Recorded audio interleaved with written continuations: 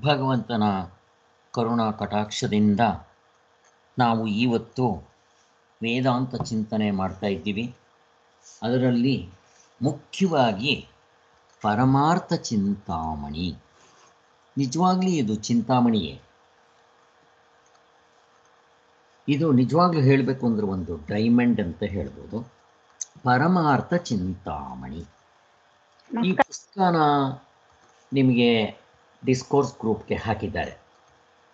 ಚಿತ್ರವನ್ನು ಯಾರಿಗೆ ಪುಸ್ತಕ ಡೌನ್ಲೋಡ್ ಮಾಡ್ಕೊಂಡು ಓದೋದಕ್ಕೆ ಸೌಕರ್ಯ ಇಲ್ಲವೋ ಅವರು ಈ ಪುಸ್ತಕವನ್ನು ಕೊಂಡ್ಕೊಂಬರ್ಬೋದು ಆ ಡಿಸ್ಕೋರ್ಸ್ ಗ್ರೂಪ್ನಲ್ಲಿ ಇರುತ್ತೆ. ಸೊ ಇದು ಪರಮಾರ್ಥ ಚಿಂತಾಮಣಿ. ಇದರಲ್ಲಿ ಪಾರ್ಟ್ ಒನ್ ಪಾರ್ಟ್ ಟೂ ಅಂತ ಬರುತ್ತೆ. ಈಗ ಕೆಲವು ಬುಕ್ಸ್ಗಳಲ್ಲಿ ಎರಡು ಕಂಬೈಂಡ್ ಆಗಿ ಬರುತ್ತೆ ಅನಿಸುತ್ತೆ. ಬಟ್ ಅದು ತೊಂದರೆ ಇಲ್ಲ. ಎರಡು ಪಾರ್ಟ್ ಇರುತ್ತೆ.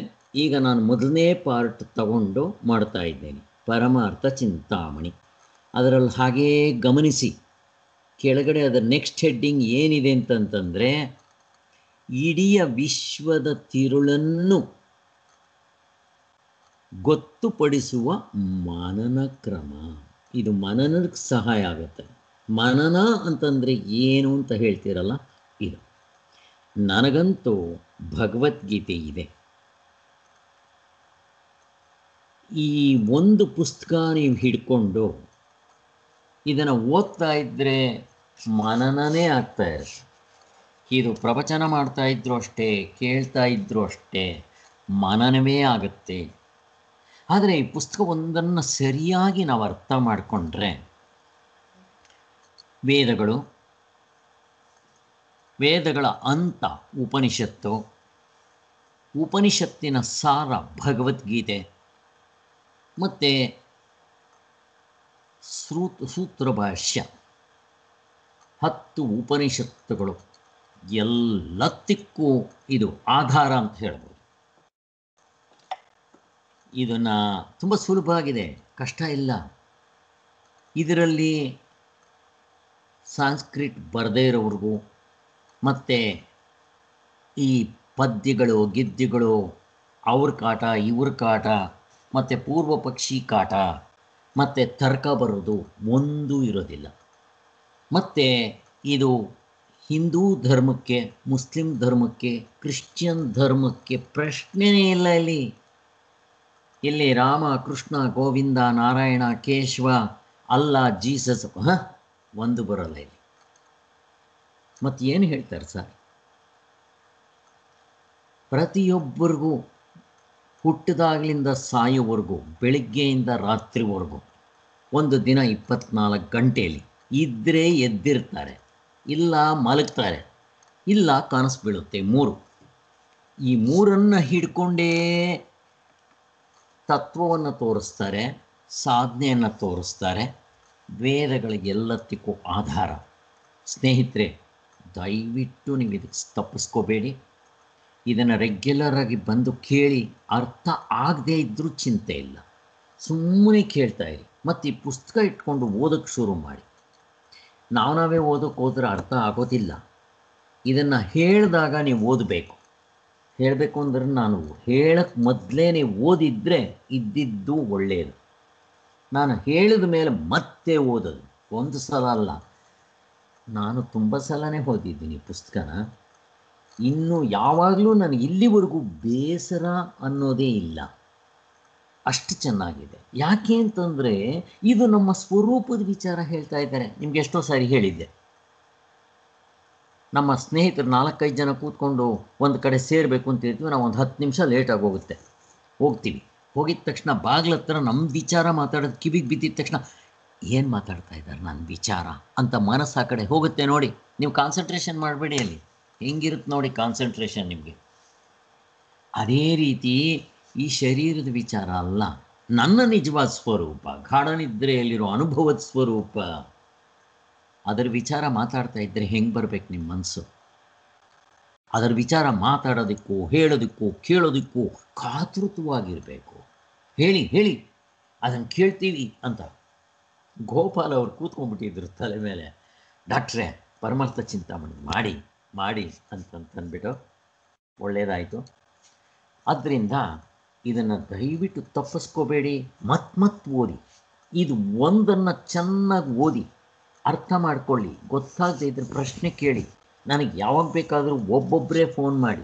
ಇವಾಗ ನಿಮಗೆ ತುಂಬಾ ಅರ್ಥ ಆಗಿದೆ. ಅರ್ಥ ಆಗಿಲ್ಲ ಅಂತ ನಾನು ಹೇಳ್ತಾ ಇಲ್ಲ. ಚೆನ್ನಾಗಿ ಹೇಳಬೇಕು ಅಂದ್ರೆ ನೀವೆಲ್ಲರೂ ಚೆನ್ನಾಗಿ ಅರ್ಥ ಮಾಡ್ಕೊತಾ ಇದ್ದೀರ. ಆದ್ದರಿಂದ ಈ ರೀತಿ ನೀವು ಅರ್ಥ ಮಾಡ್ಕೊಂಡು ಹೋಗಿದ್ದಾದರೆ ನೀವು ಭಗವದ್ಗೀತೆ ಓದಿ, ಮತ್ತು ಹತ್ತು ಉಪನಿಷತ್ತುಗಳು ಓದಿ ನೀವೇ, ನಿಮಗೇ ಅರ್ಥ ಆಗುತ್ತೆ. ಕಷ್ಟಪಡಬೇಕಾಗಿಲ್ಲ. ಸಾಧನೆ ಅಂದರೆ ಏನು? ತತ್ವ ಅಂತಂದರೆ ಏನು? ನಾವಿವಾಗ ಎಲ್ಲಿದ್ದೀವಿ? ಮೋಕ್ಷ ಅಂತಂದರೆ ಏನು? ಪ್ರತಿಯೊಂದು ಸುಲಭವಾಗಿ ಅರ್ಥ ಆಗೋದಕ್ಕೆ ಶುರುವಾಗುತ್ತೆ. ನಮ್ಮ ನಮಗೆ ಅರ್ಥ ಆಗುತ್ತೆ ಆದ್ದರಿಂದ ಇದನ್ನು ಚಿಂತನೆ ಮಾಡ್ತಾ ಹೋಗೋಣ. ಪರಮಾರ್ಥ ಚಿಂತಾಮಣಿ.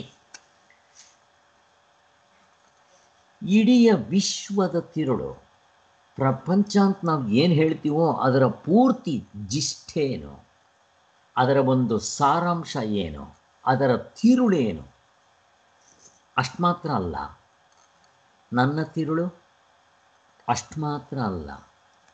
ಪ್ರಪಂಚದಲ್ಲಿ ಎಂಬತ್ನಾಲ್ಕು ಲಕ್ಷ ಜೀವರಾಶಿಗಳಿದ್ದಾರಲ್ಲ, ಅವರ ತಿರುಳು? ಎಲ್ಲರ ತಿರುಳು. ಇಲ್ಲೆಲ್ಲ ಬಿಚ್ಚಿಬಿಡುತ್ತೆ. ಒಂದೇ.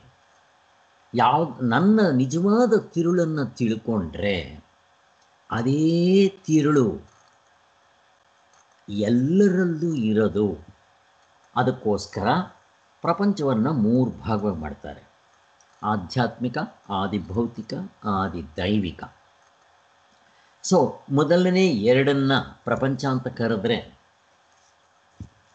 ಆಧ್ಯ ಆದಿ ಆದಿದೈವಿಕ ಆದಿ ಭೌತಿಕ ಇದನ್ನು ಅದು ಎರಡು ಇದೆ ಅಂತ ನಮಗೆ ಗೊತ್ತಾಗಬೇಕಾದ್ರೆ ನಾನು ಆಧ್ಯಾತ್ಮಿಕ. ಅಲ್ಲಿಗೆ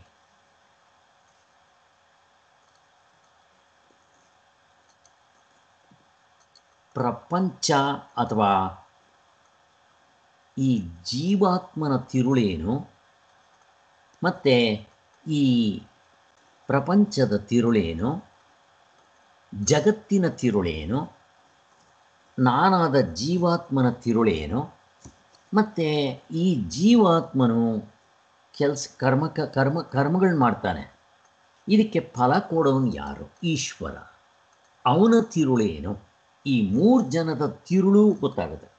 ಅಥವಾ ಎಚ್ಚರದ ಅವಸ್ಥೆಯಲ್ಲಿ ತೋರುವಂಥ ಎಚ್ಚರದ ಅವಸ್ಥೆ ಒಳಗಡೆ ಏನೇನು ತೋರುತ್ತೆ ಹೇಳಿದ್ವಲ್ಲ, ಅಷ್ಟರದ್ದು ತಿರುಳು ಗೊತ್ತಾಗುತ್ತೆ. ಇದು ಹೊರಗಡೆ ನೋಡೋದು ಕಷ್ಟ. ನನ್ನ ಒಳಗಡೆ ನನ್ನ ತಿರುಳನ್ನು ನೋಡಿಕೊಂಡ್ರೆ ನನ್ನ ನಿಜವಾದ ತಿರುಳು ಶರೀರ ಅಲ್ಲ. ಇದಕ್ಕೆ ಹಿಂತಡಿಕೆಯಾಗಿರುವಂಥ ಆತ್ಮಸ್ವರೂಪ. ಈ ಶರೀರ ಅಂತ ನಾನು ಹಿಡ್ಕೊಂಡ್ರೆ ಅದು ಹುಟ್ಟುತ್ತೆ, ಸಾಯುತ್ತೆ, ಆರು ಬದಲಾವಣೆಗಳಾಗುತ್ತೆ ಒಂದಿನ ಇಲ್ದಂಗೆ ಆಗ್ಬಿಡುತ್ತೆ. ಇದಲ್ಲ, ನಮಗೆ ಗೊತ್ತಿದೆ ಆದರೆ ನನ್ನ ನಿಜವಾದ ಸ್ವರೂಪ ಇದಲ್ಲ. ನಾನು ಹಾವು ಅಂದ್ಕೊಂಡಿದ್ದೀನಿ ಹಾವಲ್ಲ. ನಿಜವಾಗ್ಲೂ ಇರೋದು ಹಗ್ಗವೇ. ನಾನು ಶರೀರ ಅಂದ್ಕೊಂಡಿದ್ದೀನಿ ಶರೀರ ಅಲ್ಲ. ಶರೀರಕ್ಕೆ ಹಿಂತಡಿಕೆ ಇರೋವಂಥ ಆತ್ಮಸ್ವರೂಪ ನನ್ನ ನಿಜವಾದ ಸ್ವರೂಪ. ಅದು ಹುಟ್ಟಲ್ಲ, ಸಾಯೊಲ್ಲ, ಸುಖ, ದುಃಖ, ಶೋಕ, ಮೋಹ, ರಾಗ, ದ್ವೇಷ, ಎಂಥದ್ದು ಇಲ್ಲ ಅಲ್ಲಿ. ಅದು ಆನಂದ ಸ್ವರೂಪ. ಅದು ಆನಂದವಾಗಿರೋದ್ರಿಂದ ಪ್ರತಿಯೊಬ್ಬ ಮನುಷ್ಯನು ಹುಟ್ಟಿದ್ದಕ್ಕೆ ಆನಂದಕ್ಕೋಸ್ಕರ ಪ್ರಯತ್ನ ಮಾಡ್ತಾ ಇದ್ದಾನೆ. ಎಲ್ಲೂ ಸಿಗಲ್ಲ ಸ್ನೇಹಿತರೆ. ಹೊರಗಡೆ ನೀವು ಎಷ್ಟು ಬೇಕಾದರೂ ಹುಡುಕಿ ಸಿಗೋದಿಲ್ಲ. ಎಷ್ಟು ಪ್ರಯತ್ನ ಮಾಡಿದ್ರೆ ಸಿಗ್ಬೋದು? ಆಕಾಶನ ಮಡಚಿಬಿಟ್ರೆ ಸಿಗುತ್ತಾ? ಮಾಡಿ ಸಿಗ್ಬೋದು. ನಕ್ಷತ್ರಗಳನ್ನ ಏಣಿಸ್ಬಿಟ್ರೆ ಸಿಗುತ್ತಾ? ಸಿಗ್ಬೋದು, ಏಣಿಸಿ. ನೀವು ಅದನ್ನು ಮಾಡೋಕ್ಕಾಗಲ್ಲ, ಪ್ರಪಂಚದಲ್ಲಿ ಸುಖ ಸಿಗೋದಿಲ್ಲ. ಯಾಕೆ ಹೇಳಿ? ಅಲ್ಲಿಲ್ಲ. ಮತ್ತು ಎಲ್ಲಿದೆ? ನಿಮ್ಮ ಒಳಗಡೆ ಇದೆ. ಅದನ್ನು ಹೇಗೆ ಹುಡುಕ್ಬೇಕು? ಇದರಲ್ಲಿ ತೋರಿಸ್ತಾರೆ. ಬರೀ ನನ್ನ ತಿರುಳನ್ನು ತಿಳ್ಕೊಂಡ್ರೆ ಸಾಲದು. ಅದೇ ತಿರುಳು ಎಂಬತ್ನಾಲ್ಕು ಲಕ್ಷ ಜೀವರಾಶಿಗಳಿಗೂ ಅದೇ ಆಧಾರ. ಮತ್ತು ಈ ಜಗತ್ತು ಅಂತ ಹೇಳ್ತೀನಲ್ಲ, ಅದಕ್ಕೂ ಅದೇ ಆಧಾರ ಮತ್ತಿನ್ನೇನು ಬೇಕು? ಇದರಲ್ಲಿ ಎರಡು ಭಾಗಗಳಿದೆ ಅಂತ ಹೇಳಿದೆ. ನಾವು ಮಾಡ್ತಾ ಇರೋದು ಮೊದಲನೇ ಭಾಗ, ಎರಡನೇ ಭಾಗ ಕೂಡ ಇದೆ. ಇದು ಮನನಕ್ಕೆ ಒಳ್ಳೆಯ ಪುಸ್ತಕ.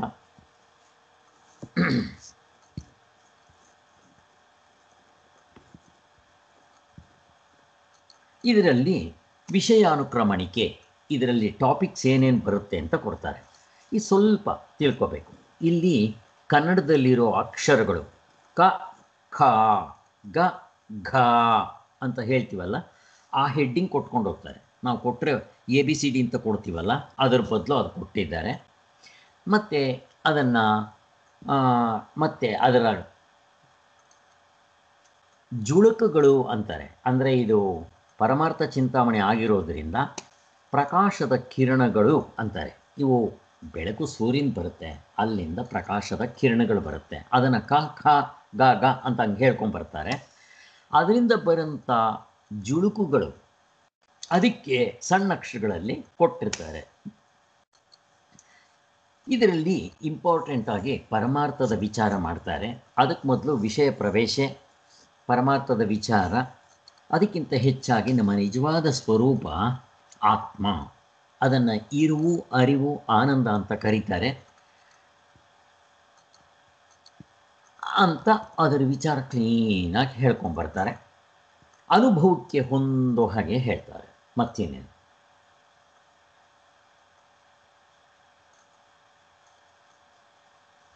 ಈಗ ಎರಡನೇ ಸಂಸ್ಕರಣದ ಪೀಠಿಕೆ ಅಂತ ಅಲ್ಲಿ ಸ್ವಲ್ಪ ವಿಚಾರ ಮಾಡೋದಿದೆ. ಅದನ್ನು ನೋಡೋಣ.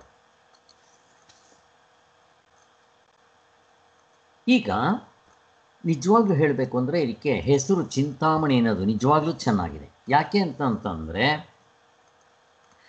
ದೇಶ ಕಾಲಗಳು ಬದಲಾವಣೆ ಆಗ್ತಾ ಇರುತ್ತೆ.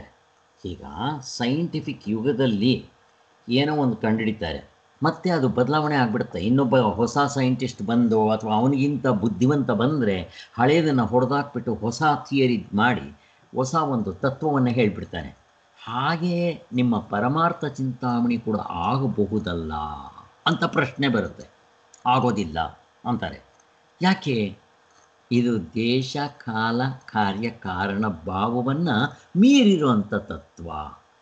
ಇದು ಆ ಸತ್ಯಯುಗದಲ್ಲೂ ಏನಿತ್ತೋ ನಾಲ್ಕು ಯುಗಗಳು ಮುಗಿತಾ ಬಂದರೂ ಅದೇ ತತ್ವ ಇರುತ್ತೆ. ಅದಕ್ಕೋಸ್ಕರ ಇದು ಬದಲಾವಣೆ ಆಗೋಲ್ಲ.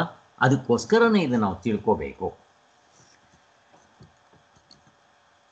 ಅವರು ಹೇಳ್ಕೊತಾರೆ, ಈ ಒಂದು ಅವಸ್ಥಾತ್ರೆ ವಿಚಾರದಿಂದ ಪರಮಾರ್ಥ ತತ್ವವನ್ನು ತಿಳಿಸ್ಕೊಳ್ಳೋದು ಯಾರಿಂದ ಬಂತಿವರಿಗೆ ಕೃಷ್ಣಸ್ವಾಮಿ ಅಯ್ಯರವರಿಂದ ಅವ್ರನ್ನ ನೆನೆಸ್ಕೊತಾರೆ ಇವರು.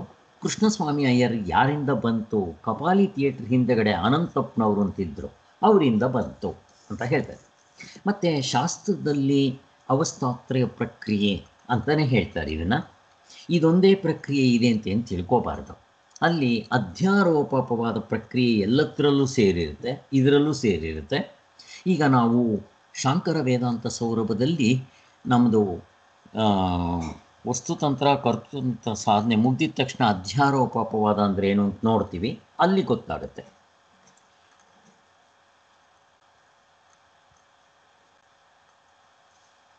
ಅಧ್ಯಾರೋಪ ಅಂತ ಅಂದಿದ ತಕ್ಷಣ ಹುಟ್ಟುಗಟ್ಟೋದು ಅಪವಾದ ಅಂದರೆ ತೆಗೆದಾಕ್ಬಿಡೋದು. ಅದ್ರ ಬಗ್ಗೆ ನೀವೇನೇನು ಚಿಂತೆ ಮಾಡಬೇಡಿ. ಅಲ್ಲಿ ಬಂದಾಗ ಚೆನ್ನಾಗಿ ನೋಡೋಣ.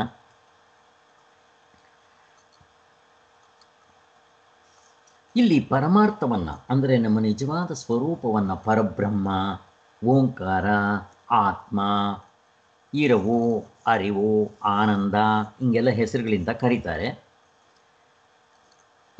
ಮತ್ತು ಇದು ಯಾವ ಪ್ರಮಾಣಕ್ಕೂ ಸಿಗೋದಿಲ್ಲ. ನಮ್ಮ ಹಿಂತಡಿಕೆ ಇರೋ ತತ್ವ ಕರ್ಮೇಂದ್ರಿಯಗಳಿಂದ ಮುಟ್ಟೋದಕ್ಕಾಗಲ್ಲ, ಜ್ಞಾನೇಂದ್ರಿಯಗಳಿಂದ ನೋಡೋದು, ಕೇಳೋದು, ಮೂಸೋದಕ್ಕಾಗೋದಿಲ್ಲ, ಪ್ರಾಣಗಳಿಂದನೂ ಮುಟ್ಟಕ್ಕಾಗಲ್ಲ, ಮನಸ್ಸು, ಬುದ್ಧಿ, ಚಿತ್ತ, ಅಹಂಕಾರದಿಂದ ಅದನ್ನು ಸಂಕಲ್ಪ, ವಿಕಲ್ಪ ಮಾಡೋದಕ್ಕೋ, ನೆನೆಸ್ಕೊಳ್ಳೋದಕ್ಕೋ, ನೆನಪು ತೊಗೊಂಬೋದಕ್ಕೋ ಆಗೋದಿಲ್ಲ. ಯಾಕೆ? ಅದು ಆಕಾರ ಇಲ್ಲ, ಅದು ಹುಟ್ಟಿಲ್ಲ, ಬೆಳೆಯೋದಿಲ್ಲ, ಸಾಯೋದಿಲ್ಲ, ಬದಲಾವಣೆ ಆಗೋದಿಲ್ಲ. ಅದರಲ್ಲಿ ಯಾವ ಒಂದು ಲಕ್ಷಣಗಳಿಲ್ಲ, ಅದಕ್ಕೋಸ್ಕರ. ಆದರೆ ನಾವು ಅದಾಗಿದ್ದೀವಿ ಮತ್ತು ಹೇಗೆ ಕಣ್ಕೋಬೇಕು? ಅನುಭವದಿಂದಲೇ ಕಣ್ಕೋಬೇಕು. ಆ ಅನುಭವ ಎಲ್ರಿಗೂ ಇದೆ ಅಂತ ಹೇಳಿ ಇಂದ್ರಿಯಗಳ ಅನುಭವ ಅಲ್ಲ, ಮನಸ್ಸಿನ ಅನುಭವ ಅಲ್ಲ, ಮೂರನೇ ಅನುಭವ, ನೇರಾದ ಅನುಭವದಿಂದ ಕಂಡ್ಕೋಬಹುದು ಅಂತ ಹೇಳಿದ್ದಾರೆ. ಅದನ್ನು ಇನ್ನೂ ಇಲ್ಲಿ ಸ್ಪಷ್ಟವಾಗಿ ತೋರಿಸ್ಕೊಡ್ತಾರೆ.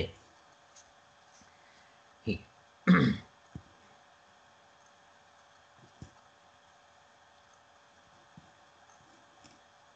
ಈಗ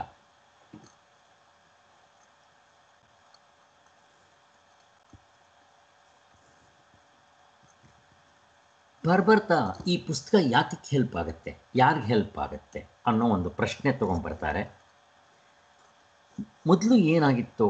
ಬರ್ಬರ್ತಾ ಜನರ ಚಿತ್ತಶುದ್ಧಿ ಕಡಿಮೆ ಆಗ್ತಾ ಬಂತು. ಅಂದರೆ ಅಧರ್ಮ ಜಾಸ್ತಿ ಆಗ್ತಾ ಬಂದ ಹಾಗೆಲ್ಲ ನಮಗೆ ವೇದಶಾಸ್ತ್ರಗಳು ಇವು ತಿಳಿದೇ ಇರೋಂಗೆ ಹಾಗೋಯಿತು ಮತ್ತು ತ, ತತ್ವವನ್ನು ಅನುಭವದ ಓರೆಗಲ್ಲಿನಿಂದ ಪರೀಕ್ಷೆ ಮಾಡೋ ಬದಲು ಅದು ತಪ್ಪಾಯಿತು. ಮತ್ತೇನಾಯಿತು?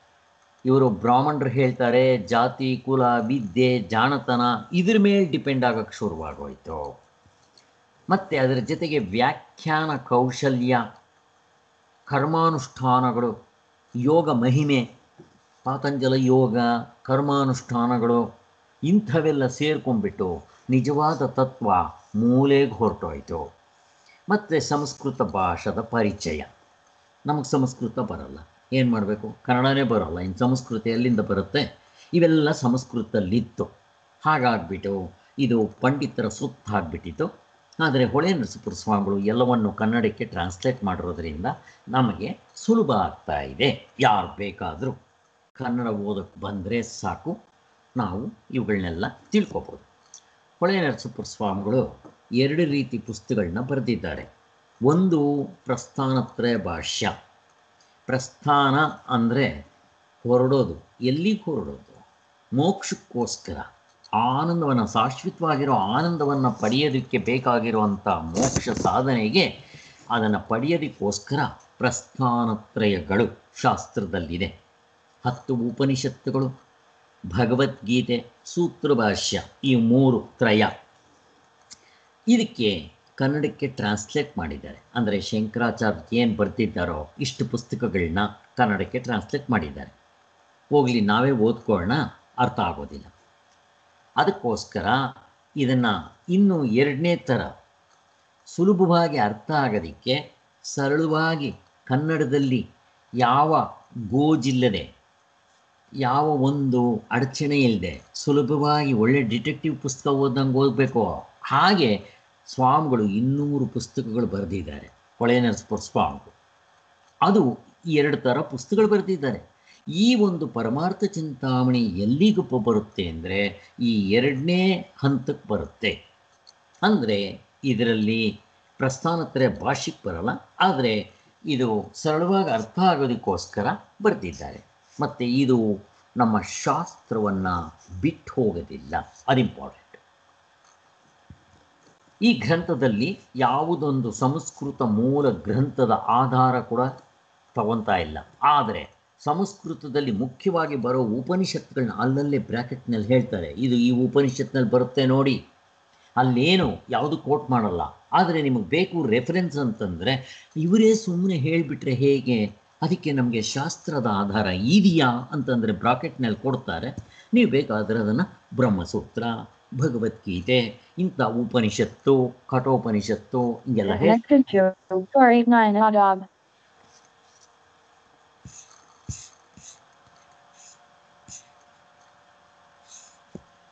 ಅವುಗಳನ್ನ ನಾವು ಚೆಕ್ ಮಾಡ್ಕೋಬಹುದು. ಮತ್ತು ನಮ್ಮ ನಮ್ಮ ಅನುಭವದ ಓರೆಗಲ್ಲಿಗೆ ವಾಚಕರು ತಿಕ್ಕಿ ನೋಡಿ ಪರೀಕ್ಷೆ ಮಾಡ್ಕೋಬೋದು.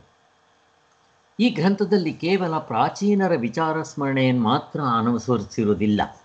ಅಂದರೆ ನಮ್ಮ ವೇದಗಳನ್ನು ಹೇಳಿರೋದನ್ನು ಮಾತ್ರ ತಗೊಂಬಂದೇನು ವಿಚಾರ ಮಾಡಿರೋದೇನಿಲ್ಲ. ಹೊರಗಡೆಗೆ ಫಿಲಾಸಫರ್ಸ್ ಅಂತಿದ್ದಾರೆ. ಅವ್ರನ್ನ ವೆಸ್ಟರ್ನ್ ಫಿಲಾಸಫರ್ಸ್ ಅಂತಾರೆ. ಅವ್ರು ಏನು ಹೇಳ್ತಾರೆ ಅದರ ವಿಚಾರನೂ ಕೂಡ ಇಲ್ಲಿ ಚಿಂತನೆ ಮಾಡಿದ್ದಾರೆ. ಯಾಕೆಂದರೆ ನಮ್ಗೆ ಚೆನ್ನಾಗಿ ಅರ್ಥ ಆಗಲಿ ಅಂತ. ಎರಡನೇ ಭಾಗದಲ್ಲಂತೂ ಪ್ರತಿಯೊಬ್ಬರನ್ನೂ ಅಲ್ಲಿ ತಗೊಂಡು ಹತ್ತತ್ರ ಒಂದು ಅರವತ್ತೆಪ್ಪತ್ತು ಪೇಜು ಅವ್ರ ಬಗ್ಗೆನೇ ಚಿಂತನೆ ಮಾಡಿದ್ದಾರೆ. ಎರಡನೇ ಭಾಗದಲ್ಲಿ ತುಂಬ ಜಾಸ್ತಿ ಬರುತ್ತೆ. ಮೊದಲನೇ ಭಾಗದಲ್ಲಿ ಸ್ವಲ್ಪ ಸ್ವಲ್ಪ ಬರುತ್ತೆ. ನಮ್ಗೆ ಹೆಲ್ಪ್ ಆಗುತ್ತಿವೆಲ್ಲ ಆದರೆ ಕಷ್ಟ ಏನಿಲ್ಲ.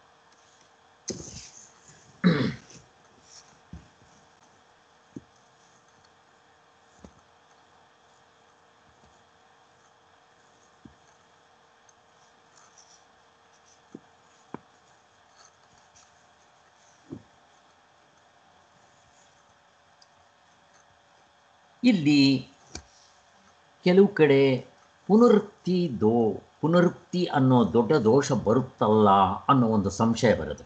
ಎಷ್ಟೊಂದು ಸರಿ ನನಗೂ ಕೂಡ ಹೇಳಿದ್ದಾರೆ ಸರ್, ಹೇಳಿದ್ದನ್ನೇ ಹೇಳ್ತಾ ಇರ್ತೀರ? ನಾವು ಕೇಳಿದ್ದನ್ನೇ ಕೇಳ್ತಾ ಇರ್ತೀವಿ ಅಂತ. ಹೌದು. ಇಲ್ಲಿ ಪೂರ್ವ ಪಕ್ಷಿ ಅದನ್ನು ಹೇಳ್ತಾನೆ, ಜೈಮಿನಿ ಪೂರ್ವ ಮೀಮಾಂಸಕರು, ಇದು ತಪ್ಪಲ್ಲ. ಯಾಕೆ? ಎಷ್ಟು ಸಾರಿ ಹೇಳಿರ್ತೀವಿ, ಕೇಳಿರ್ತೀವಿ ಮತ್ತು ಮತ್ತೆ ಅದನ್ನೇ ಹೇಳ್ತಾ ಇರ್ತೀರಲ್ಲ, ಯಾಕೆ? ತತ್ವದಲ್ಲಿ ನಿಲ್ಲಿಲ್ವಲ್ಲ? ಅದಕ್ಕೋಸ್ಕರ ಅದು ದೋಷ ಅಲ್ಲ ಅಂತ ಶಾಸ್ತ್ರದಲ್ಲೇ ತೋರಿಸ್ತಾರೆ. ಇರೋದು ಇಷ್ಟೇ. ಆದರೆ ಅದನ್ನು ನಾವು ಮನನ ಮಾಡಿಕೊಂಡು, ಸಾಧನೆ ಮಾಡಿಕೊಂಡು ತತ್ವದಲ್ಲಿ ನಿಲ್ಲಬೇಕು, ನಿಲ್ಲುವವರೆಗೂ ಇದನ್ನು ಮಾಡ್ತಾ ಇರಬೇಕು, ಬಿಡಂಗಿಲ್ಲ ಅಂತ. ಈ ಪರಮಾರ್ಥ ಚಿಂತಾಮಣಿಯನ್ನು ಪುಸ್ತಕ ಯಾರಿಗೋಸ್ಕರ ಬರೆದಿರೋದು? ಅಂತ ಪ್ರಶ್ನೆ. ಯಾರಿಗೆ ಸಂಸ್ಕೃತ ಬರೋದಿಲ್ವೋ? ಅವರಿಗೆ ನಮಗೆಲ್ಲ ಸಂಸ್ಕೃತ ಬರಲ್ಲ. ಇದು ಸರಳವಾಗಿ ಓದ್ಕೊಂಡು ಹೋಗ್ಬೋದು. ಯಾಕೆ? ಕನ್ನಡದಲ್ಲಿದೆ. ಒಳ್ಳೆ ಗದ್ಯದ ರೂಪದಲ್ಲಿದೆ. ಡಿಟೆಕ್ಟಿವ್ ಪುಸ್ತಕ ಇದ್ದಂಗಿದೆ. ಮತ್ತು ಯಾವ ಗಡಿಬಿಡಿ ಇಲ್ಲದೆ ಇದರಲ್ಲಿ ವಿಚಾರವನ್ನು ತಿಳಿಸ್ತಾ ಹೋಗ್ತಾರೆ. ತರ್ಕ ಇಲ್ಲ, ಚರ್ಚೆ ಇಲ್ಲ ಮತ್ತು ಪೂರ್ವ ಪಕ್ಷಿ ಪ್ರಶ್ನೆಗಳಿಲ್ಲ. ಹಾಗೆ.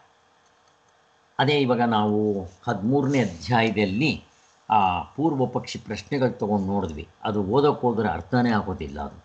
ಹಂಗಿರುತ್ತೆ. ಆದರೆ ಇಲ್ಲಂತ ತರ್ ತರ್ಕ ಗಿರ್ಕ ಬರೋದಿಲ್ಲ. ಅದಕ್ಕೋಸ್ಕರ ತುಂಬ ಸುಲಭವಾಗಿದೆ. ಮತ್ತು ಇಲ್ಲೇನು ಮಾಡ್ತಾರೆ? ಅನುಭವಾನುಸಾರಿಯಾದ ತರ್ಕ ಹಿಡ್ಕೊತಾರೆ. ಎಲ್ರಿಗೂ ನಮಗೆ ಗೊತ್ತಿರುವಂಥ ಅನುಭವ ಹಿಡ್ಕೊತಾರೆ ಇವರು. ತೋರಿಸ್ತಾ ಹೋಗ್ತಾರೆ. ಮತ್ತು ಯಾರಿಗೆ ಸುಮ್ಮನೆ ಈ ಕೆಲವರು ಏನು ಮಾಡಿಬಿಡ್ತಾರೆ ಅಂದರೆ ಹೇಳುವಾಗ ಕವಿತೆಗಳದ್ದು ಸೇರಿಸ್ಕೊಂಡು ಹೇಳ್ತಾ ಇರ್ತಾರೆ. ಯಾಕಪ್ಪ ಇವರು ಇಷ್ಟೊಂದು ಕವಿತೆಗಳ ವಿಚಾರ ಸೇರಿಸ್ಕೊಂಡು ಹೇಳ್ತಾರೆ ಅಂತ ಅನಿಸ್ತಾ ಇರುತ್ತೆ. ಆ ಗೋಜಿಲ್ಲ ಇಲ್ಲಿ ಇಲ್ಲಿ. ಡೈರೆಕ್ಟಾಗಿ ತತ್ವದ ವಿಚಾರ ಹೇಳ್ಕೊತಾ ಹೋಗ್ತಾರೆ. ಮತ್ತೆ ಯಾರಿಗೆ ಸಂಸ್ಕೃತದಲ್ಲಿರೋ ತರ್ಕ ಪ್ರಧಾನವಾದ ವೇದಾಂತ ಗ್ರಂಥಗಳನ್ನ ಓದಿ ಓದಿ ಮನಸ್ಸು ಓದಿ ಓದಿ ಮರುಳಾದ ಕೂಚುಬಟ್ಟ ಅಂತ ಹಾಕ್ಬಿಟ್ಟು ಏನೂ ಅನ್ನೋದೇ ಗೊತ್ತಾಗಲ್ಲ. ಒಳ್ಳೆ ಕಾಡಿನಲ್ಲಿ ಬಿಟ್ಟಂಗೆ ಆಗ್ಬಿಟ್ಟಿರುತ್ತೆ. ತತ್ವ ಯಾವುದೋ, ಸಾಧನೆ ಯಾವುದೋ, ಎಷ್ಟು ಜನದ ಹತ್ರ ಪ್ರವಚನ ಕೇಳಿರ್ತಾರೆ, ಎಲ್ಲ ಮಾಡಿರ್ತಾರೆ. ಒಂದು ಗೊತ್ತೆ ಒಂದು ಬುಡ ಇಲ್ಲ, ಮರದ ತುದಿ ಗೊತ್ತಿಲ್ಲ, ಏನು ಗೊತ್ತಿಲ್ಲ. ಹಂಗಾಗ್ಬಿಡುತ್ತೆ. ಅಂಥವ್ರಿಗೂ ಸಹಾಯ ಆಗುತ್ತಿದು ಯಾರಿಗೆ? ಕೇವಲ ತರ್ಕದಿಂದ ನಿರ್ಣಯ ಮಾಡೋದಕ್ಕೆ ತರ್ಕ. ಕುತರ್ಕ, ಜಲ್ಪ ತರ್ಕ. ಇವುಗಳು ಈ ತರ್ಕಗಳು ಮಾಡಿದ್ದೇ ಸಾಧನೆ ವಿಚಾರ, ಅವು ಇವು ಹೇಳ್ತಾ ಇರ್ತಾರೆ, ತತ್ವದ ವಿಚಾರ. ಅದನ್ನು ಕಟ್ಕೊಂಡು ನಮಗೇನಾಗಬೇಕು? ಅಂಥವ್ರಿಗೂ ಇದು ಇಡಿಸೋಲ್ಲ. ಆದರೆ ಬೇರೆಯವರಿಗೆ ಇಡಿಸೋದು, ಅಂಥವ್ರಿಗೆ ಇಡಿಸುತ್ತಿದೆ. ಯಾರಿಗೆ ತರ್ಕ ಮಾಡಿ ಮಾಡಿ ಬೇಜಾರಾಗಿಬಿಟ್ಟಿರುತ್ತೋ ಅವ್ರಿಗೆ ಇಡಿಸುತ್ತೇವೆ ಮತ್ತು ಇದು ದ್ವೈತದವರಿಗೆ, ಅದ್ವೈತದವರಿಗೆ, ವಿಶಿಷ್ಟ ಅದ್ವೈತ ಶುದ್ಧ ಅದ್ವೈತ ಮತ್ತು ದ್ವೈತ ಅದ್ವೈತ ಈ ಸಿದ್ಧಾಂತಗಳೆಲ್ಲ ಕೇಳಿ ಕೇಳಿ ಬೇಜಾರಾಗ್ಬಿಟ್ಟು ಯಾವ ಸರಿ ಅಂತ ಮನಸ್ಸಿಗೆ ನಿಲುವಿಲಾಗ್ಬಿಟ್ಟಿರ್ತಲ್ಲ ಅಂಥವ್ರಿಗೆ ಇಲ್ಲಿ ಉತ್ತರ ಸಿಗುತ್ತೆ. ಇಲ್ಲಿ ರಾಮಾಯಣ ಇರಲ್ಲ, ಬರೀ ಇಷ್ಟು ಮಾತ್ರ ಅಲ್ಲ. ವೇದಗಳನ್ನ ನಂಬ್ಕೊಂಡಿರೋರಲ್ಲ ವೇದಗಳನ್ನ ನಂಬ್ಕೊಳ್ದೇ ಇರೋವಂಥ ಮುಸ್ಲಿಮ್ಸ್ ಆಗಲಿ, ಕ್ರಿಶ್ಚಿಯನ್ಸ್ ಆಗಲಿ, ಜೈನರಾಗಲಿ, ಬುದ್ಧಿಸಮ್ನವರಾಗಲಿ, ಯಾರು ಬೇಕಾದರೂ ಆಗಲಿ. ಏನು ಗೊತ್ತಿಲ್ಲದೆ ಓದಕ್ಕೆ ಬರದೇ ಇರೋರು, ಅವ್ರಿಗೂ ಕೂಡ ಇದು ಅರ್ಥ ಆಗುತ್ತೆ. ಅವ್ರಿಗೆ ಓದಕ್ಕೆ ಬರದೇ ಇರ್ಬೋದು. ಯಾರಾದರೂ ಹೇಳಿದ್ರೆ, ಹೌದು ಹೌದು ಅಂತ ಅನಿಸುತ್ತೆ ಹೇಗೆ? ಹೇಗೆ ನಾವು ಎಚ್ಚರ ಕನಸು ನಿದ್ದೆ ಹೇಳಿದರೆ ಯಾರಿಗೂ ಅರ್ಥ ಆಗಲ್ಲ? ಸ, ಪ್ರತಿಯೊಬ್ಬರಿಗೂ ಅರ್ಥ ಇರುತ್ತೆ ಈ ಗ್ರಂಥದಲ್ಲಿ ವೇದವಾಕ್ಯಗಳ ನಿರ್ಣಯವಿಲ್ಲದ್ದರಿಂದ ದ್ವಿಜರಿಗೆ ಹೇಗೋ ಆಗ ಮಿಕ್ಕವರಿಗೆ ಅಧಿಕಾರವನ್ನು ಕೊಡುವ ಗ್ರಂಥವಾಗಿರುತ್ತೆ. ಇದು ಬರೀ ಬ್ರಾಹ್ಮಣರ ಸೊತ್ತು, ಹಂಗೇನಿಲ್ಲ. ಪಂಡಿತರ ಸೊತ್ತು, ಹಾಗೇನಿಲ್ಲ. ಯಾರು ಬೇಕಾದರೂ. ಯಾರಿಗಿದು ಆಸಕ್ತಿ ಇರುತ್ತೋ ಅವ್ರಿಗೆಲ್ಲ ಸಹಾಯ ಆಗುತ್ತೆ. ಇದರಲ್ಲಿ ಶ್ರುತಿ ಸ್ಮೃತಿಗಳ ಅರ್ಥದ ಚರ್ಚೆ ಇಲ್ಲ. ಅಲ್ಲೆಲ್ಲ ಬೇಕಾದಷ್ಟು ಚರ್ಚೆಗಳು ಬರುತ್ತೆ. ಆ ಚರ್ಚೆಗಳು ಏನು ತಗೊಂಡಿಲ್ಲ ಇಲ್ಲಿ. ಪರಮಾರ್ಥವು ಯಾರೊಬ್ಬರ ವಿಶೇಷವಾದ ಸ್ವತ್ತಲ್ಲ. ಇದು ಯಾರಿಗೋ ಒಬ್ಬರಿಗೆ ಮೀಸಲಾಗಿಟ್ಟಿರೋದಲ್ಲ. ಸ್ವಾಮಿ, ಇವರು ಪಂಡಿತರ ಸೊತ್ತು ಸ್ವಾಮಿ ಅದು. ನಮಗಂತವ್ರು ಬಡವರಿಗೆ ಎಲ್ಲಿ ಸಿಗುತ್ತೆ ಹಾಗೇನಿಲ್ಲ ಇದು. ಪ್ರತಿಯೊಬ್ಬರ ಸೊತ್ತು. ಯಾಕೆ? ಪ್ರತಿಯೊಬ್ಬರಿಗೂ ಆ ಪರಮಾತ್ಮನೇ ಆಧಾರವಾಗಿದ್ದಾನೆ. ಅದಕ್ಕೋಸ್ಕರ ಅವನ ಹುಡುಕೋದಕ್ಕೆ ಇದು ಎಲ್ಲರಿಗೂ ಹಕ್ಕಿದೆ. ಯಾರ್ಯಾರಿಗೆ ಜೀವನದ ರಹಸ್ಯವನ್ನು ಭೇದಿಸ್ಕೊಂಡು ಅರ್ಜುನನಿಗೆ ಇವಾಗ ಆಯ್ತಲ್ಲ ಶೋಕ ಮೋಹ ಕಳ್ಕೋಬೇಕು. ನಮಗೇನು ಪ್ರಪಂಚದಲ್ಲಿ ನಮಗೆ ಶಾಶ್ವತವಾಗಿರೋ ಆನಂದ ಬೇಕು. ಈ ದುಃಖ ಪ್ರಪಂಚ ಅನುಭವಿಸಿ ಸಾಕಾಗಿದೆ. ಈ ಹುಟ್ಟು ಸಾವುಗಳಿಂದ ತಪ್ಪಿಸ್ಕೋಬೇಕು. ಕರೋನಾ ಭಯ ಇರಬಾರ್ದು. ಯಾವುದು ಭಯ ಇರಬಾರ್ದು. ಹಣದ ಚಿಂತೆ ಇರಬಾರ್ದು, ರೋಗ ರುಜಿನಗಳ ಯಾವುದರ ಚಿಂತೆ ಇಲ್ಲದೆ ಪರ್ಮನೆಂಟ್ ಸಲ್ಯೂಷನ್ ಇದೆಯಾ ಅಂದರೆ ಇದರಲ್ಲಿ ಸಿಗುತ್ತೆ. ಇದಕ್ಕೆ ಭವರೋಗದ ಸಲ್ಯೂಷನ್ ಅಂತಾರೆ. ಅಂಥದ್ದು ಇದರಲ್ಲಿ ಸಿಗುತ್ತೆ. ಮತ್ತು ಯಾಕೆ ಬೇಡ ಇದು? ಮತ್ತು ಈ ಗ್ರಂಥ ಯಾರಿಗ ಪರಿಚಲ್ಲ ಯಾರಿಗೆ ಬೇಡ ಅನಿಸುತ್ತೆ? ಮುಕ್ತರಾದವ್ರಿಗೆ. ಯಾಕೆ ಬೇಕು ಅವ್ರಿಗೆ? ಈಗ ಪುಸ್ತಕಗಳಿರುತ್ತೆ. ಯಾರಿಗೆ ಬೇಕಾಗೋದು? ಯಾರು ಪಾಸ್ ಆಗಿಲ್ವೋ ಅಂಥವ್ರಿಗೆ ಬೇಕು. ಈಗ ಪಾಸ್ ಆಗಿಬಿಟ್ಟು ಡಿಗ್ರಿ ಕೈಗೆ ಬಂದವರಿಗೆ ಈ ಪುಸ್ತಕಗಳು ಬೇಕಾ? ಬೇಕಾಗಿತ್ತಾ? ಅಂತ ಹೇಳ್ತಾ ಇದ್ದಾರೆ. ಹಾಗೆ. ಅವ್ರಿಗೆ ಬೇಕಾಗಿದ್ದಿಲ್ಲ. ಬ್ರಹ್ಮನಿಷ್ಠರಿಗೆ ಬೇಕಾಗೋದಿಲ್ಲ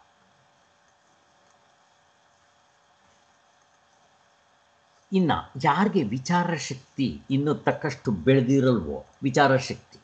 ಈ ಮಕ್ಕಳಿಗೆ ಇಕ್ಕಳಿಗೆ ಬೆಳೀದೇ ಇದ್ದರೆ ಸ್ವಲ್ಪ ಕಷ್ಟ. ಕೆಲವು ಚಿಕ್ಕ ಮಕ್ಕಳಿರ್ತಾರೆ, ಬುದ್ಧಿವಂತರಾಗಿರ್ತಾರೆ. ಅವರು ತಿಳ್ಕೊಂಬಿಡ್ತಾರೆ ಅವರು. ಹಾಗೆ ಇನ್ನು ಕೆಲವರು ವಯಸ್ಸಾಗಿರುತ್ತೆ. ಇದು ಹೇಳಿದರೆ ತಲೆಗೆ ಹೋಗಲ್ಲ ಅಂತ ಹೇಳ್ತಾರೆ. ಅವ್ರಿಗೆ ಇದು ಇಡಿಸಲ್ಲ ಏನೂ ಮಾಡೋಕ್ಕಾಗಲ್ಲ ಅವರಿಗೆ.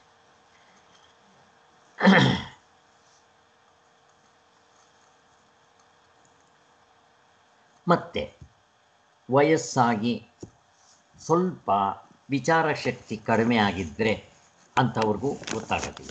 ಹೇಳ್ತಾ ಇರ್ತೀವಿ, ನಿದ್ದೆ ಬರ್ತಾ ಇರುತ್ತೆ ವಯಸ್ಸಾದ ಮೇಲೆ ಅಂಥವ್ರಿಗೂ ಏನೂ ಅರ್ಥ ಆಗೋದಿಲ್ಲ ಇದು ಅಂತ ಹೇಳ್ತಾರೆ. ಮತ್ತು ವಿಚಾರ ಶಕ್ತಿ ಇನ್ನೂ ಮೂಡಿಕೊಂಡೇ ಇರೋಲ್ಲ ಅಂಥವ್ರಿಗೂ ಅಲ್ಪ ಸ್ವಲ್ಪ ಇದ್ದರೂ ಗ್ರಂಥದಲ್ಲಿ ವಿವರಿಸಿರುವಂಥ ಸೂಕ್ಷ್ಮ ವಿಷಯಗಳನ್ನು ಪರಿಶೀಲಿಸುವಷ್ಟು ಬಲವಾಗಿರೋದಿಲ್ಲ. ಸೂಕ್ಷ್ಮ ವಿಚಾರಗಳು ಬರುತ್ತಿಲ್ಲ. ಆದರೆ ಏನು ಹೆದರ್ಕೋಬೇಕಾಗಿಲ್ಲ ಇದು. ಮತ್ತೆ ಮತ್ತೆ ಕೇಳ್ತಾ ನಮಗೆ ಪ್ರಶ್ನೆ ಬಂದಾಗ ಅದನ್ನು ಎನ್ಕ್ವೈರಿ ಮಾಡಿಕೊಂಡು ಅದಕ್ಕೆ ಸ್ಟಡಿ ಗ್ರೂಪ್ ಅಂತ ಮಾಡೋದು. ಇಲ್ದಿದ್ರೆ ನಮಗೆ ಎಷ್ಟೊಂದು ಅರ್ಥ ಆಗೋದಿಲ್ಲ. ಸ್ಟಡಿ ಗ್ರೂಪ್ನಲ್ಲಿ ಏನಾಗುತ್ತೆ? ಮತ್ತೆ ಮತ್ತೆ ಹೇಳಿ, ಕೇಳಿ ಮಾಡೋದ್ರಿಂದ ಆ ಮನಸ್ಸಿಗೆ ಹಿಡಿದು ಬಿಡುತ್ತಿದ್ದು ಒಂದು ಸಾರಿ ಹಿಡಿತೋ ಬಿಡಿ, ಅಷ್ಟೇ ಮುಗಿದು ಪ್ರಾಕೃತರಿಗೆ ಯಾರು ಪ್ರಪಂಚದ ಹೊರಗಡೆನೇ ಇರ್ತಾರೋ ಅವರಿಗೆ ಇದು ಇಡ್ಸಲ್ಲ ಮೂರೊತ್ತು ಸಿನಿಮಾ ಪಿಕ್ಚರು ಅದು ಬೇಕು, ಇದು ಬೇಕು, ತಿಂಡಿ ತೀರ್ಥಗಳು ಬೇಕು ಕಿಟ್ಟಿ ಪಾರ್ಟಿಗಳು ಬೇಕು, ನಾನು ಅಲ್ಲಿ ಇರ್ತೀನಿ, ಇಲ್ಲಿ ಇರ್ತೀನಿ ಇಲ್ಲಿರ್ತೀನಿ ಅನ್ನೋವ್ರಿಗೂ ಏನು ಹಿಡಿಸಲ್ಲ ಇದು. ಆದರೆ ಅವ್ರು ಮನಸ್ಸು ಮಾಡಿದ್ರೆ ಆಗುತ್ತೆ. ಅವರಿಗೆ ಪ್ರಪಂಚದ ಹೊರಗಡೆ ಇರೋವ್ರಿಗೂ ಆಸಕ್ತಿ ಬರೋದಿಲ್ಲ. ಮತ್ತು ಶ್ರದ್ಧಾ ಭಕ್ತಿ ಪ್ರಧಾನರಾಗಿರುವವರು ಅವರಿಗೆ ಇಡಿಸುತ್ತಿದ್ದು ಅಂತ ಹೇಳ್ತಾ ಇದ್ದಾರೆ.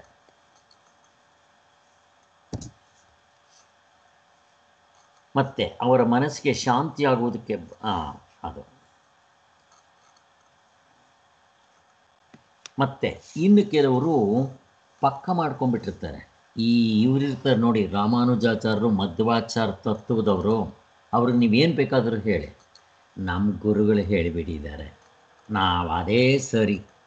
ಅದು ಸರಿಯಾಗಾದರೂ ಇರಲಿ, ಸರಿಯಾಗಿ ಇಲ್ಲದೇ ಇದ್ದರೂ ಇರಲಿ. ನೀವೇನು ಬೇಕಾದರೂ ಹೇಳಿ. ನಮ್ಗೆ ಅದೇ ತತ್ವ ಅಂದ್ಕೊಂಡಿರ್ತಾರಲ್ಲ ಅಂಥವ್ರನ್ನೇನು ಮಾಡೋಕ್ಕಾಗಲ್ಲ. ಮೊಂಡು ಮನಸ್ಸು ಅಂತ ಹೇಳ್ತಾರಲ್ಲ ಅವರು. ವಿಚಾರ ಮಾಡೋ ಶಕ್ತಿ ಇರೋದಿಲ್ಲ. ಒಂದು ಏನಂತಾರೆ? ಒಂದು ಏನಂತಾರೆ ಅದಕ್ಕೆ? ಕತ್ಲೆ ಕೋಣೆಯಲ್ಲಿ ಇದ್ದಂಗೆ ಅವ್ರಿಗೆ ಯಾರಾದರೂ ಹೇಳಿದ್ರು ಅದು ಮನಸ್ಸು ಇಡ್ಸಲ್ಲ. ಏ, ನೀವೇನು ಬೇಕಾದರೂ ಹೇಳ್ಕೊಳ್ಳಿ. ನಮ್ಮದೇ ಕರೆಕ್ಟ್ ಅಂತ ಇರ್ತಾರಲ್ಲ ಅವ್ರಿಗೇನು ಮಾಡೋಕ್ಕಾಗಲ್ಲ. ಅವ್ರಿಗೂ ಇಡ್ಸಲ್ಲ ಇದು. ಶುದ್ಧ ನಾಸ್ತಿಕರು. ದೇವರಂದರೆ ನಾವೆಲ್ಲ ನಂಬಲ್ಲ. ಬಟ್ ಸರಿಯಾಗಿ ವಿಚಾರ ಮಾಡಿದ್ರೆ ಅವ್ರಿಗೂ ಕೂಡ ವಿಚಾರ ಹಿಡಿದು ಬಿಡುತ್ತೆ. ತಮ್ಮ ತಮ್ಮ ಮತಾಚಾರರು ಹೇಳಿದ್ದೇ ಸಿದ್ಧಾಂತ ಅಂತ ಹಿಡ್ಕೊಂಡಿರ್ತಾರಲ್ಲ ಅಂಥವ್ರಿಗೆ ಇನ್ನು ಕೆಲವರು ಪಂಡಿತರಾಗಿರ್ತಾರಲ್ಲ ಅಹಂಕಾರ ಇರ್ತಲ್ಲ ನನ್ನ ಬಿಟ್ಟರೆ ಇನ್ಯಾರೂ ಇಲ್ಲ, ನಾನು ಹೇಳೋದೇ ಸರಿ ಅಂತ ಅಂಥವ್ರಿಗೂ ಇಡಿಸೋಲ್ಲ. ಅಂತ ಹಿಂಗೆಲ್ಲ ಯಾರಿಗೆ ಇಡಿಸೋದಿಲ್ಲ, ಯಾರಿಗೆ ಇಡಿಸುತ್ತೆ ಅನ್ನೋದು ಕೂಡ ಹೇಳ್ತಾ ಇದ್ದಾರೆ. ಮತ್ತೆ ಇದನ್ನು ಎಲ್ಲಿ ಓದಬೇಕು? ಅಡುಗೆ ಮಾಡ್ತಾ ಮಾಡ್ತಾ ಓದೋದಲ್ಲ. ತರಕಾರಿ ಬಿಡಿಸ್ತಾ ಬಿಡಿಸ್ತಾ ಓದೋದಲ್ಲ. ಅರ್ಥ ಆಗೋದಿಲ್ಲ. ಮಾಡೋಕ್ಕೆ ಹೋಗಬೇಡಿ. ಮತ್ತು ಯಾವಾಗ ಓದಬೇಕು? ಬಸ್ ಸ್ಟ್ಯಾಂಡ್ನಲ್ಲಿ ಬಸ್ಸು ಬರುತ್ತಲ್ಲ ವೆಯ್ಟ್ ಮಾಡ್ತಾ ಇರ್ತೀವಲ್ಲ, ಆವಾಗ. ಇಡ್ಸಲ್ಲ, ಅರ್ಥ ಆಗಲ್ಲ. ಯಾವಾಗ ನಿಮ್ಮ ಮನಸ್ಸು ಶಾಂತವಾಗಿರುತ್ತೋ, ಯಾವಾಗ ಸಂತೋಷವಾಗಿರುತ್ತೋ, ನೀವು ಗಲಾಟೆ ಇಲ್ಲದೆ ಇರೋ ಜಾಗದಲ್ಲಿ ಮಕ್ಕಳು ಆಟ ಆಡ್ತಾ ಇದ್ದರೆ ಹೋಗಿ ಪಾರ್ಕ್ನಲ್ಲಿ ಓದೋದು ಸಂತೆಲಿ ಅರ್ಥ ಅರ್ಥನೇ ಆಗೋದಿಲ್ಲ. ಬಿಟ್ಬಿಡಿ. ಅಲ್ಲಿ ಓದಕ್ಕೆ ಹೋಗ್ಲೂಬಾರ್ದು ಇದನ್ನೆಲ್ಲ ಏ ಗಲಾಟೆ ಇಲ್ಲದೆ ಇರೋ ಜಾಗದಲ್ಲಿ ನಮ್ಮ ಮನಸ್ಸು ಶಾಂತವಾಗಿರಬೇಕು. ಮನಸ್ಸು ಗಲಿಬಿಲಿ ಇದ್ದುಕೊಂಡು ಏನೋ ಚಿಂತನೆಗಳಿದ್ದರೆ ಇದು ಅರ್ಥ ಆಗೋದಿಲ್ಲ. ಅಂಥ ಸಂದರ್ಭದಲ್ಲಿ ಓದಬೇಡಿ ಅಂತಲೇ ಹೇಳ್ತಾರೆ. ಅಂಥ ಸಂದರ್ಭದಲ್ಲಿ ಬೇರೆದೇನಾದರೂ ಭಜನೆ ಮಾಡಿ, ಅಂಥವು ಮಾಡಿ ಅಂತ ಹೇಳ್ತಾರೆ. ನೋಡಿ, ಓದುಗರಿಗೆ ಭಿನ್ನಃ. ಈ ಗ್ರಂಥವನ್ನು ಯಾವ ಕೆಲಸದ ಗಲಾಟೆಯೂ ಇಲ್ಲದೆ ಇರುವಾಗ, ಕಿರುಕಳ ಚಿಂತೆಯೂ ಇಲ್ಲದೆ ಮನಸ್ಸು ಲವಲವಿಕೆಯಿಂದ ವಿಚಾರಕ್ಕೆ ಒಲಿವೆ, ಒಲು ಒಲಿಯುವಂತೆ ಇರುವ ಸಮಯದಲ್ಲಿ ಓದಿ. ಇದು ಪರಮಾರ್ಥ ಚಿಂತಾಮಣಿಯದ ಆದ್ದರಿಂದ ಪರಮಾರ್ಥವನ್ನು ಕಂಡುಕೊಳ್ಳುವ ಒಂದೇ ಉದ್ದೇಶದಿಂದ ಇದನ್ನು ಓದಿ ಚಿಂತನೆ ಇಟ್ಟುಕೊಂಡ್ರೆ ವಿಷಯವು ಮತ್ತಷ್ಟು ಸುಲಭವಾಗಿ ಮನಸ್ಸಿಗೆ ಹತ್ತುತ್ತೆ. ಮತ್ತಿದರಲ್ಲಿ ಆನಂದ ಆಗುತ್ತೆ. ನನಗಂತೂ ಅದು ಸಿಗ್ತಾ ಇದೆ. ಎಷ್ಟು ಸರಿ ಓದಿದ್ರು ಬೇಸರ ಆಗಲ್ಲ. ಯಾಕೆ ಅಂತಂದರೆ ನಮ್ಗೆ ಆನಂದ ಆಗುತ್ತೆ ನಿಮ್ಮ ಮನಸ್ಸು ಅಂತರ್ಮುಖತ್ವ ಬರುತ್ತೆ. ಪ್ರಪಂಚದಲ್ಲಿ ವೈರಾಗ್ಯ ಬರುತ್ತೆ ಇದರಲ್ಲಿ. ಸೊ ಅಲ್ಲಿಗೆ ಇಷ್ಟು ಈ ಪುಸ್ತಕದ ಬಗ್ಗೆ ಇಂಟ್ರೊಡಕ್ಷನ್ ಸೊ ಈಗ ನಾವು ಪರಮಾರ್ಥ ಚಿಂತಾಮಣಿ. ನಾನು ಈವಾಗ ಟಾಪಿಕ್ ಶುರು ಮಾಡ್ತಾ ಇದ್ದೀನಿ. ಇದರಲ್ಲಿ ಪೇಜ್ ನಂಬರು ಒಂದನೇ ಪೇಜು ಅದರಲ್ಲಿ ಮೊದಲನೇ ಟಾಪಿಕ್ ವಿಷಯ ಪ್ರವೇಶ. ಇರುವುದು ಒಂದನ್ನೇ ತಿಳಿದವರು ಬಗೆ ಬಗೆಯಿಂದ ಕರೀತಾ ಇರ್ತಾರೆ. ಇರೋದು ಒಂದೇ. ಬೇರೆ ಬೇರೆ ರೀತಿಯಲ್ಲಿ ಅದನ್ನು ಕರೀತಾ ಇದ್ದಾರೆ ಅಷ್ಟೇ. ಇರೋದು ನೀರೇ, ವಸ್ತು ಏನದು? ನೀರು. ಬೇರೆಯವ್ರು ಏನು ಕರೀತಾರೆ?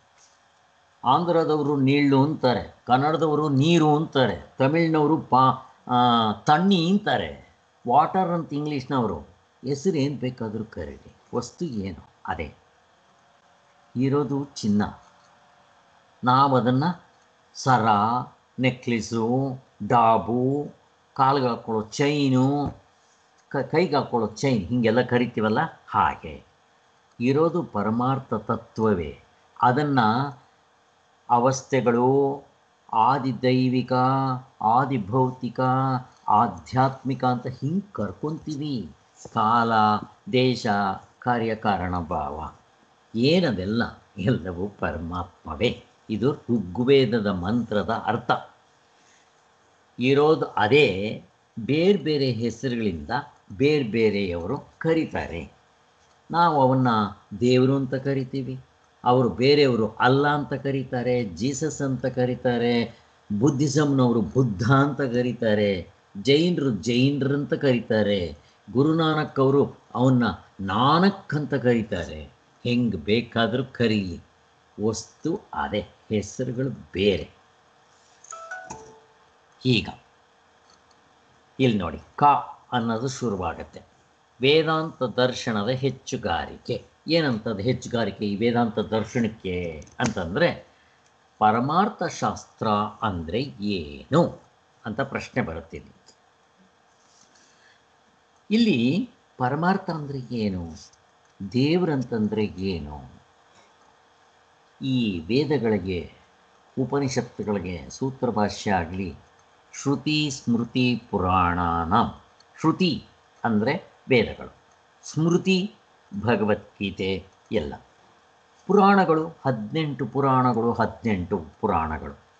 ಇಷ್ಟಕ್ಕೂ ಒಂದೇ ಅರ್ಥ. ಈ ಇಡೀ ವಿಶ್ವಕ್ಕೆ ತಿರುಳು ಒಂದೇ ಒಂದು ತತ್ವ.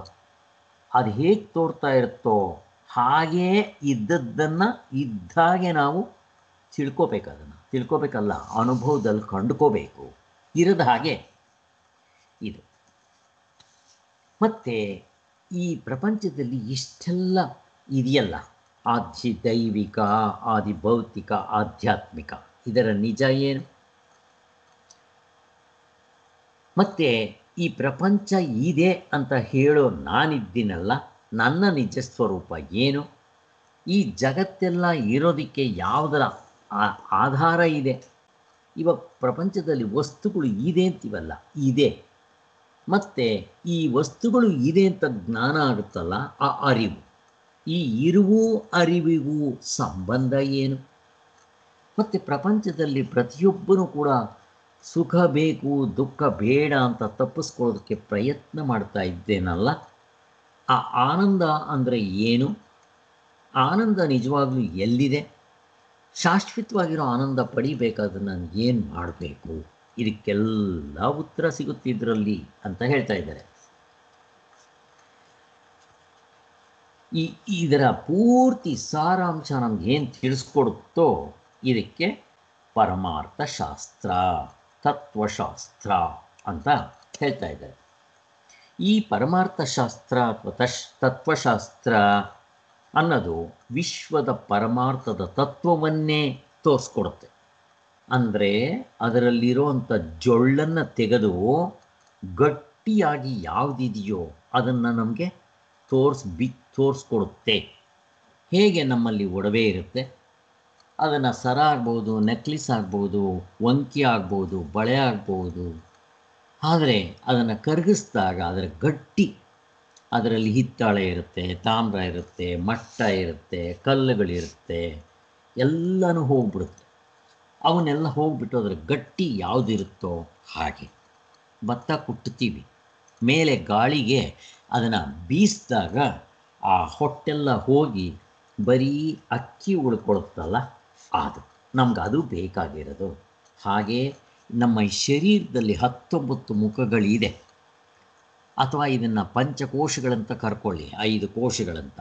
ಇವುಗಳನ್ನ ನಾವು ಜಲ್ಡಿ ಹಿಡಿಬೇಕು.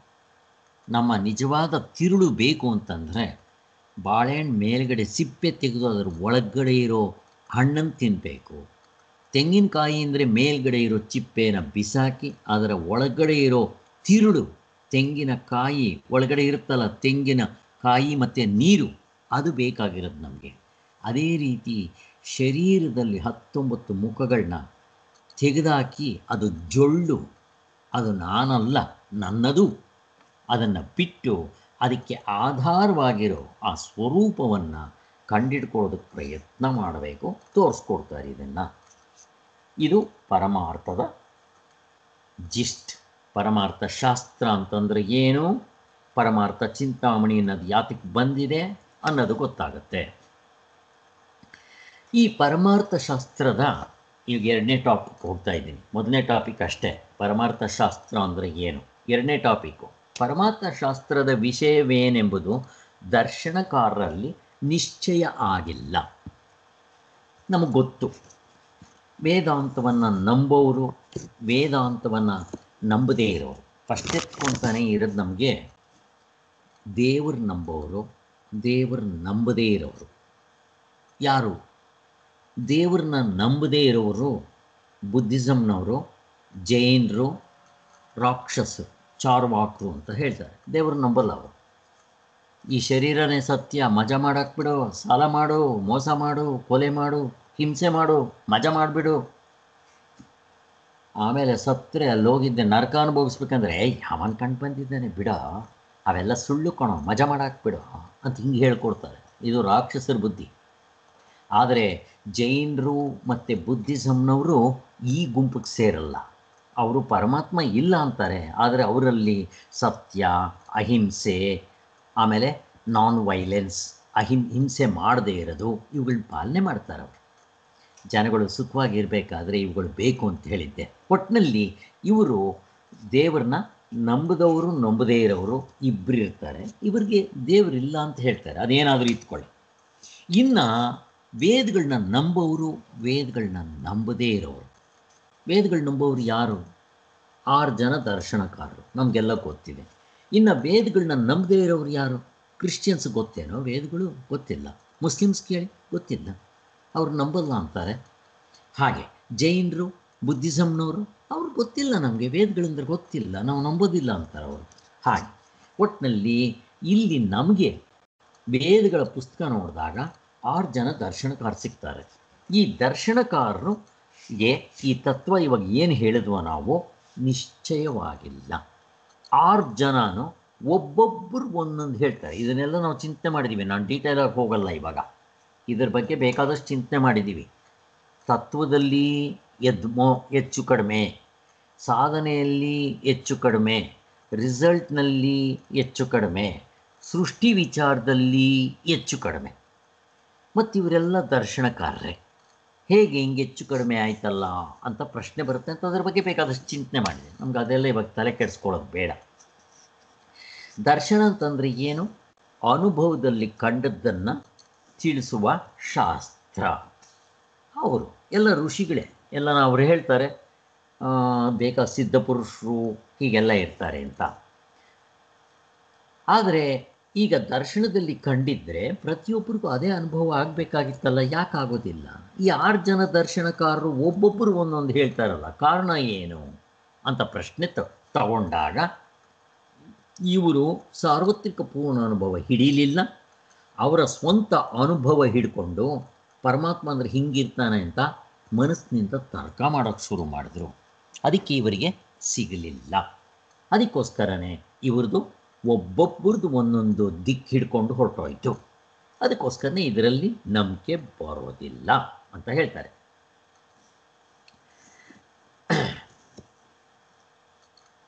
ಇನ್ನ, ಅವ್ರದ್ದು ಏನು ಕಂಡುತ್ತೋ, ಅವ್ರಿಗೆ ಏನು ಅನ್ನಿಸ್ತೋ ಸರಿ ಅಂತ ಅದನ್ನೇ ತತ್ವ ಅಂತ ಹೇಳಕ್ಕೆ ಶುರು ಮಾಡಿಬಿಟ್ರು. ನನಗೆ ಸರಿ ಅಂತ ಅನ್ನಿಸ್ತೋ, ಬೇರೆಯವ್ರಿಗೂ ಹಾಗೆ ಇರುತ್ತೆ ಅಂತ ಏನು ನಂಬಿಕೆ? ಒಪ್ಪೋದಿಲ್ಲ ಇದು. ಆದ್ದರಿಂದ ಇಲ್ಲಿ ಮತ್ತೆ ಟಗಫರ್ ಬರುತ್ತೆ. ನಿಂದು ಹೆಂಗೆ ಸರಿ ಆಗುತ್ತೆ ಅಂತ. ಅವನು ಇವನು ಕಿತ್ತಾಡ್ತಾನೆ, ಇವನು ಅವನು ಕಿತ್ತಾಡ್ತಾನೆ ಇವ್ರದ್ದು ಅವ್ರ ಸೇರಿ ಇಲ್ಲ ಅವ್ರದ್ದು ಇವ್ರಿಗೆ ಸೇರಿ ಇಲ್ಲ, ಇದು ಗೊತ್ತಿದೆ. ಅದಕ್ಕೋಸ್ಕರನೇ ಅಲ್ಲಿ ಒಂದು ಕಡೆ ಹೇಳ್ತಾರೆ, ಕಪಿಲರು ಸರ್ವಜ್ಞರಾದರೆ ಕಣಾದರೂ ಕೂಡ ಅಲ್ಲನ್ನೋದಕ್ಕೆ ಪ್ರಮಾಣ ಏನು? ಕಪಿಲರು ಸರ್ವಜ್ಞರೇ. ಪಾತಂಜಲಗಳು ಸರ್ವಜ್ಞರೇ. ಕಣಾದರು ನೈಯಾಯಿಕರು, ವೈಶೇಷಿಕರು, ಇವರೆಲ್ಲ ಪೂರ್ವ ಮೀಮಾಂಸಕರು ಎಲ್ಲರೂ ಸರ್ವಜ್ಞರೇ. ಎಲ್ಲರೂ ಸಿದ್ಧ ಪುರುಷರೇ, ಇವ್ರು ಹೇಳೋದು ತಪ್ಪಂತ ಹೆಂಗೆ ಹೇಳ್ತೀರಾ ಅಂತ ಪ್ರಶ್ನೆ ಬರುತ್ತೆ ಇಲ್ಲಿ. ಅಷ್ಟು ಮಾತ್ರ ಅಲ್ಲ, ಈಗ ರಾಮಾನುಜಾಚಾರ್ಯರು, ಮಧ್ವಾಚಾರ್ಯರು, ಅವರು ತಪ್ಪು ಹೇಳೋಕ್ಕೆ ಶುರು ಮಾಡಿದ್ದಾರೆ. ಸತ್ ಮೇಲೆ ಮೋಕ್ಷ ಅಂತಾರೆ. ಈಗ ಅವರು, ಅವರ ಅವರ ಫಾಲೋಯರ್ಸ್ ಇರ್ತಾರೆ. ನಮ್ಮ ಗುರುಗಳು ಹೇಳಿದ್ರೆ ಸರಿ ಅಂತಾರೆ. ಏನು ಬಡ್ಕೊಂಡು ಸಾಯ್ಬೇಕು ಇದಕ್ಕೆ? ಅದಕ್ಕೋಸ್ಕರ ಹಂಗಲ್ಲ ಅದು. ಮತ್ತೇನು ಅಂತಂದರೆ ಸಾರ್ವತ್ರಿಕ ಪೂರ್ಣ ಅನುಭವ ಅವರು ಇದನ್ನು ಹಿಡೀಲಿಲ್ಲ ಎಚ್ಚರ, ಕನಸು, ನಿದ್ದೆ ಪ್ರತಿಯೊಬ್ಬರಿಗೂ ಸಮಾನವಾಗಿ ಆಗುತ್ತೆ ಅದ್ರ ಪ್ರಕಾರ ನೋಡೋಣ. ತತ್ವ ಯಾವುದು ಅಂತ ಗೊತ್ತಾಗುತ್ತೆ. ಅದನ್ನು ಹಿಡ್ಕೋಣ ಅಂತಂದು ಮತ್ತು ಇದರಲ್ಲಿ ಯಾರಿಗೇನೋ? ನಾವು ಏನು ಹೆಚ್ಚು ಕಡಿಮೆ ಆಗೋಲ್ಲ ಅಂತ ವೇದಾಂತದವರು ಹೇಳ್ಕೊಡ್ತಾ ಇದ್ದಾರೆ. ಅಂತೂ ದರ್ಶನ ಅನ್ನೋ ಮಾತಿಗೆ ಅನುಭವದಿಂದ ಕಂಡದ್ದನ್ನು ಹೇಳೋ ಸಿದ್ಧಾಂತ ಅಂತ ಹೇಳ್ತಾರೆ. ಇಷ್ಟ ಆಯಿತಾ? ಇದು ನಮ್ಮ ದೇಶದ್ದು. ಇನ್ನು ಪಾಶ್ಚಾತ್ಯ ದೇಶದಲ್ಲೂ ಇದೇ ಹಾಡು. ಅವರೇನು ಹೇಳ್ತಾರೆ? ಈ ಪ್ರಪಂಚದಲ್ಲಿ ಇಷ್ಟು ವಸ್ತುಗಳಿದೆಯಲ್ವಾ? ಇದಕ್ಕೆ ಮುಖ್ಯವಾಗಿ ಏನಾದರೂ ಒಂದು ವಸ್ತು ಇದೆಯಾ ಅಂತ ಹೇಳಿ ಅವರು ಹುಡುಕ್ತಾ ಹೋಗ್ತಾರೆ. ಅವರು ಇದೇ ರಾಮಾಯಣನೇ. ನಮ್ಮಲ್ಲಿ ತರ್ಕ ಹಿಡ್ಕೊಂಡ್ರು ಜೊತೆಗೆ ವೇದಗಳ ಆಧಾರ ಸಿಕ್ತು. ಆ ವೇದಗಳನ್ನ ಹೇಗೆ ನೋಡ್ಕೋಬೇಕು ಅನ್ನೋ ಸರಿಯಾಗಿ ಗೊತ್ತಲ್ಲದೆ ತಪ್ಪು ದಾರಿಗೆ ಹೋದ್ರು. ಪಾಪ ಫಾರಿನರ್ಸ್ಗೆ ಫಿಲಾಸಫರ್ಸ್ ಅಂತ ಹೇಳ್ತೀವಿ ಅವ್ರಿಗೆ ಈ ವೇದಗಳ ಸಿಗಲಿಲ್ಲ. ಆದರೆ ಅವರು ಬರೀ ತರ್ಕದಿಂದನೇ ವಿಚಾರ ಮಾಡಿ ಮನುಷ್ಯ ಆನಂದಕ್ಕೋಸ್ಕರ ಹುಡುಕ್ತಾ ಇದ್ದಾನೆ, ಆನಂದ ಎಲ್ಲಿದೆ ಅಂತ ಹಿಂಗೆಲ್ಲ ಹುಡುಕೊಂಡ್ಬಂದು ಹೇಳಬೇಕು ಅಂದರೆ ಹತ್ತತ್ರ ಇವರು ನಮ್ಗೆ ಹತ್ತಿರ ಬಂದುಬಿಡ್ತಾರೆ ಇವರು. ಇವ್ರಿಗೆ ವೇದಗಳು ಗೊತ್ತಿಲ್ಲ, ಯಾರು ಗುರುಗಳಿಲ್ಲ, ಏನೂ ಇಲ್ಲ.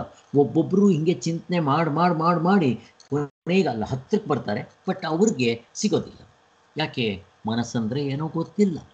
ಆತ್ಮ ಅಂತ ಏನು ಗೊತ್ತಿಲ್ಲ. ಅದಕ್ಕೋಸ್ಕರ ಅವರೂ ಕೂಡ ಏನು ವಿಚಾರ ಗೊತ್ತಿಲ್ಲದೆ ತಡಬಡಾಯಿಸ್ತಾ ಇರ್ತಾರೆ.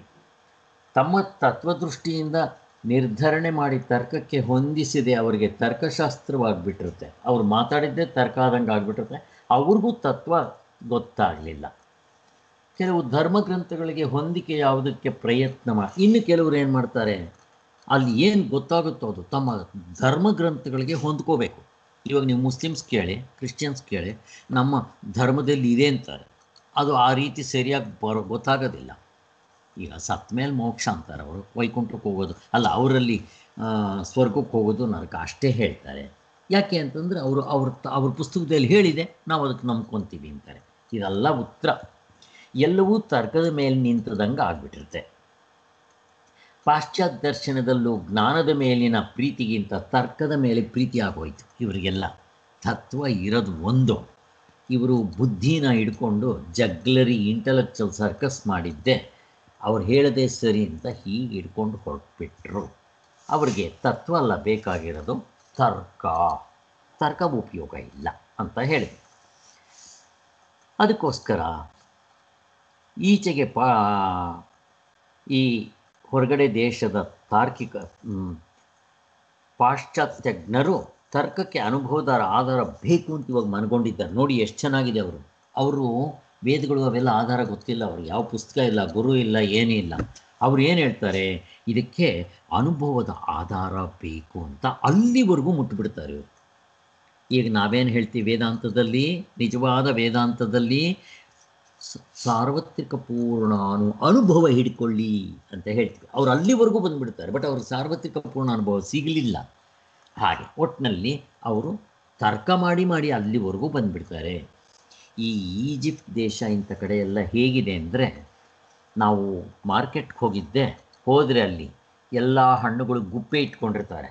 ನೀವು ಯಾವ ಗುಪ್ಪೆ ತೊಗೊತೀರೋ ತೊಗೊಳ್ಳಿ. ಹತ್ತು ರೂಪಾಯಿ, ಇಪ್ಪತ್ತು ರೂಪಾಯಿ, ಮೂವತ್ತು ರೂಪಾಯಿ ಅಂತ ಅಂದ್ಕೊಂಡು ಮಾಡ್ತಾರಲ್ಲ, ಹಾಗೆ ಆ ದೇಶದಲ್ಲಿ ದೇವರಂದರೆ ಇದ್ದಾನ ಒಬ್ಬ, ಅಥವಾ ನಾವು ಕಷ್ಟಪಡೋದಕ್ಕೆ ಕಾರಣ ಏನು? ಹೀಗೆಲ್ಲ ಚರ್ಚೆ ಮಾಡ್ತಾ ಇರ್ತಾರಂತೆ ಒಂದೊಂದು ಗುಂಪಿನಲ್ಲಿ ಹತ್ತತ್ತು ಜನ, ಐದು ಜನ, ಎಷ್ಟು ಜನನೋ ಸೇರಿಕೊಂಡು ಅಲ್ಲಿ ಹೋಗೋದು, ವಿಚಾರ ಕೇಳ್ತಾ ಇರೋದು, ಇವ್ರು ಹೇಳೋದು ಸರಿಯಾ, ಅವ್ರು ಹೇಳೋದು ಸರಿಯಾ ಅಂತ ಹೀಗೆ ಒಂದು ಸಂತೆ ಥರ ಇರುತ್ತಂತಲ್ಲಿ ಜನಗಳು ಬೆಳಿಗ್ಗೆ ಆದರೆ ಸಾಕಂತೆ, ಅಲ್ಲಿ ಹೋಗೋದು, ಚರ್ಚೆ ಮಾಡೋದು. ಒಂದು ಗ, ಎರಡು ಗಂಟೆನೋ, ಮೂರು ಗಂಟೆನೋ.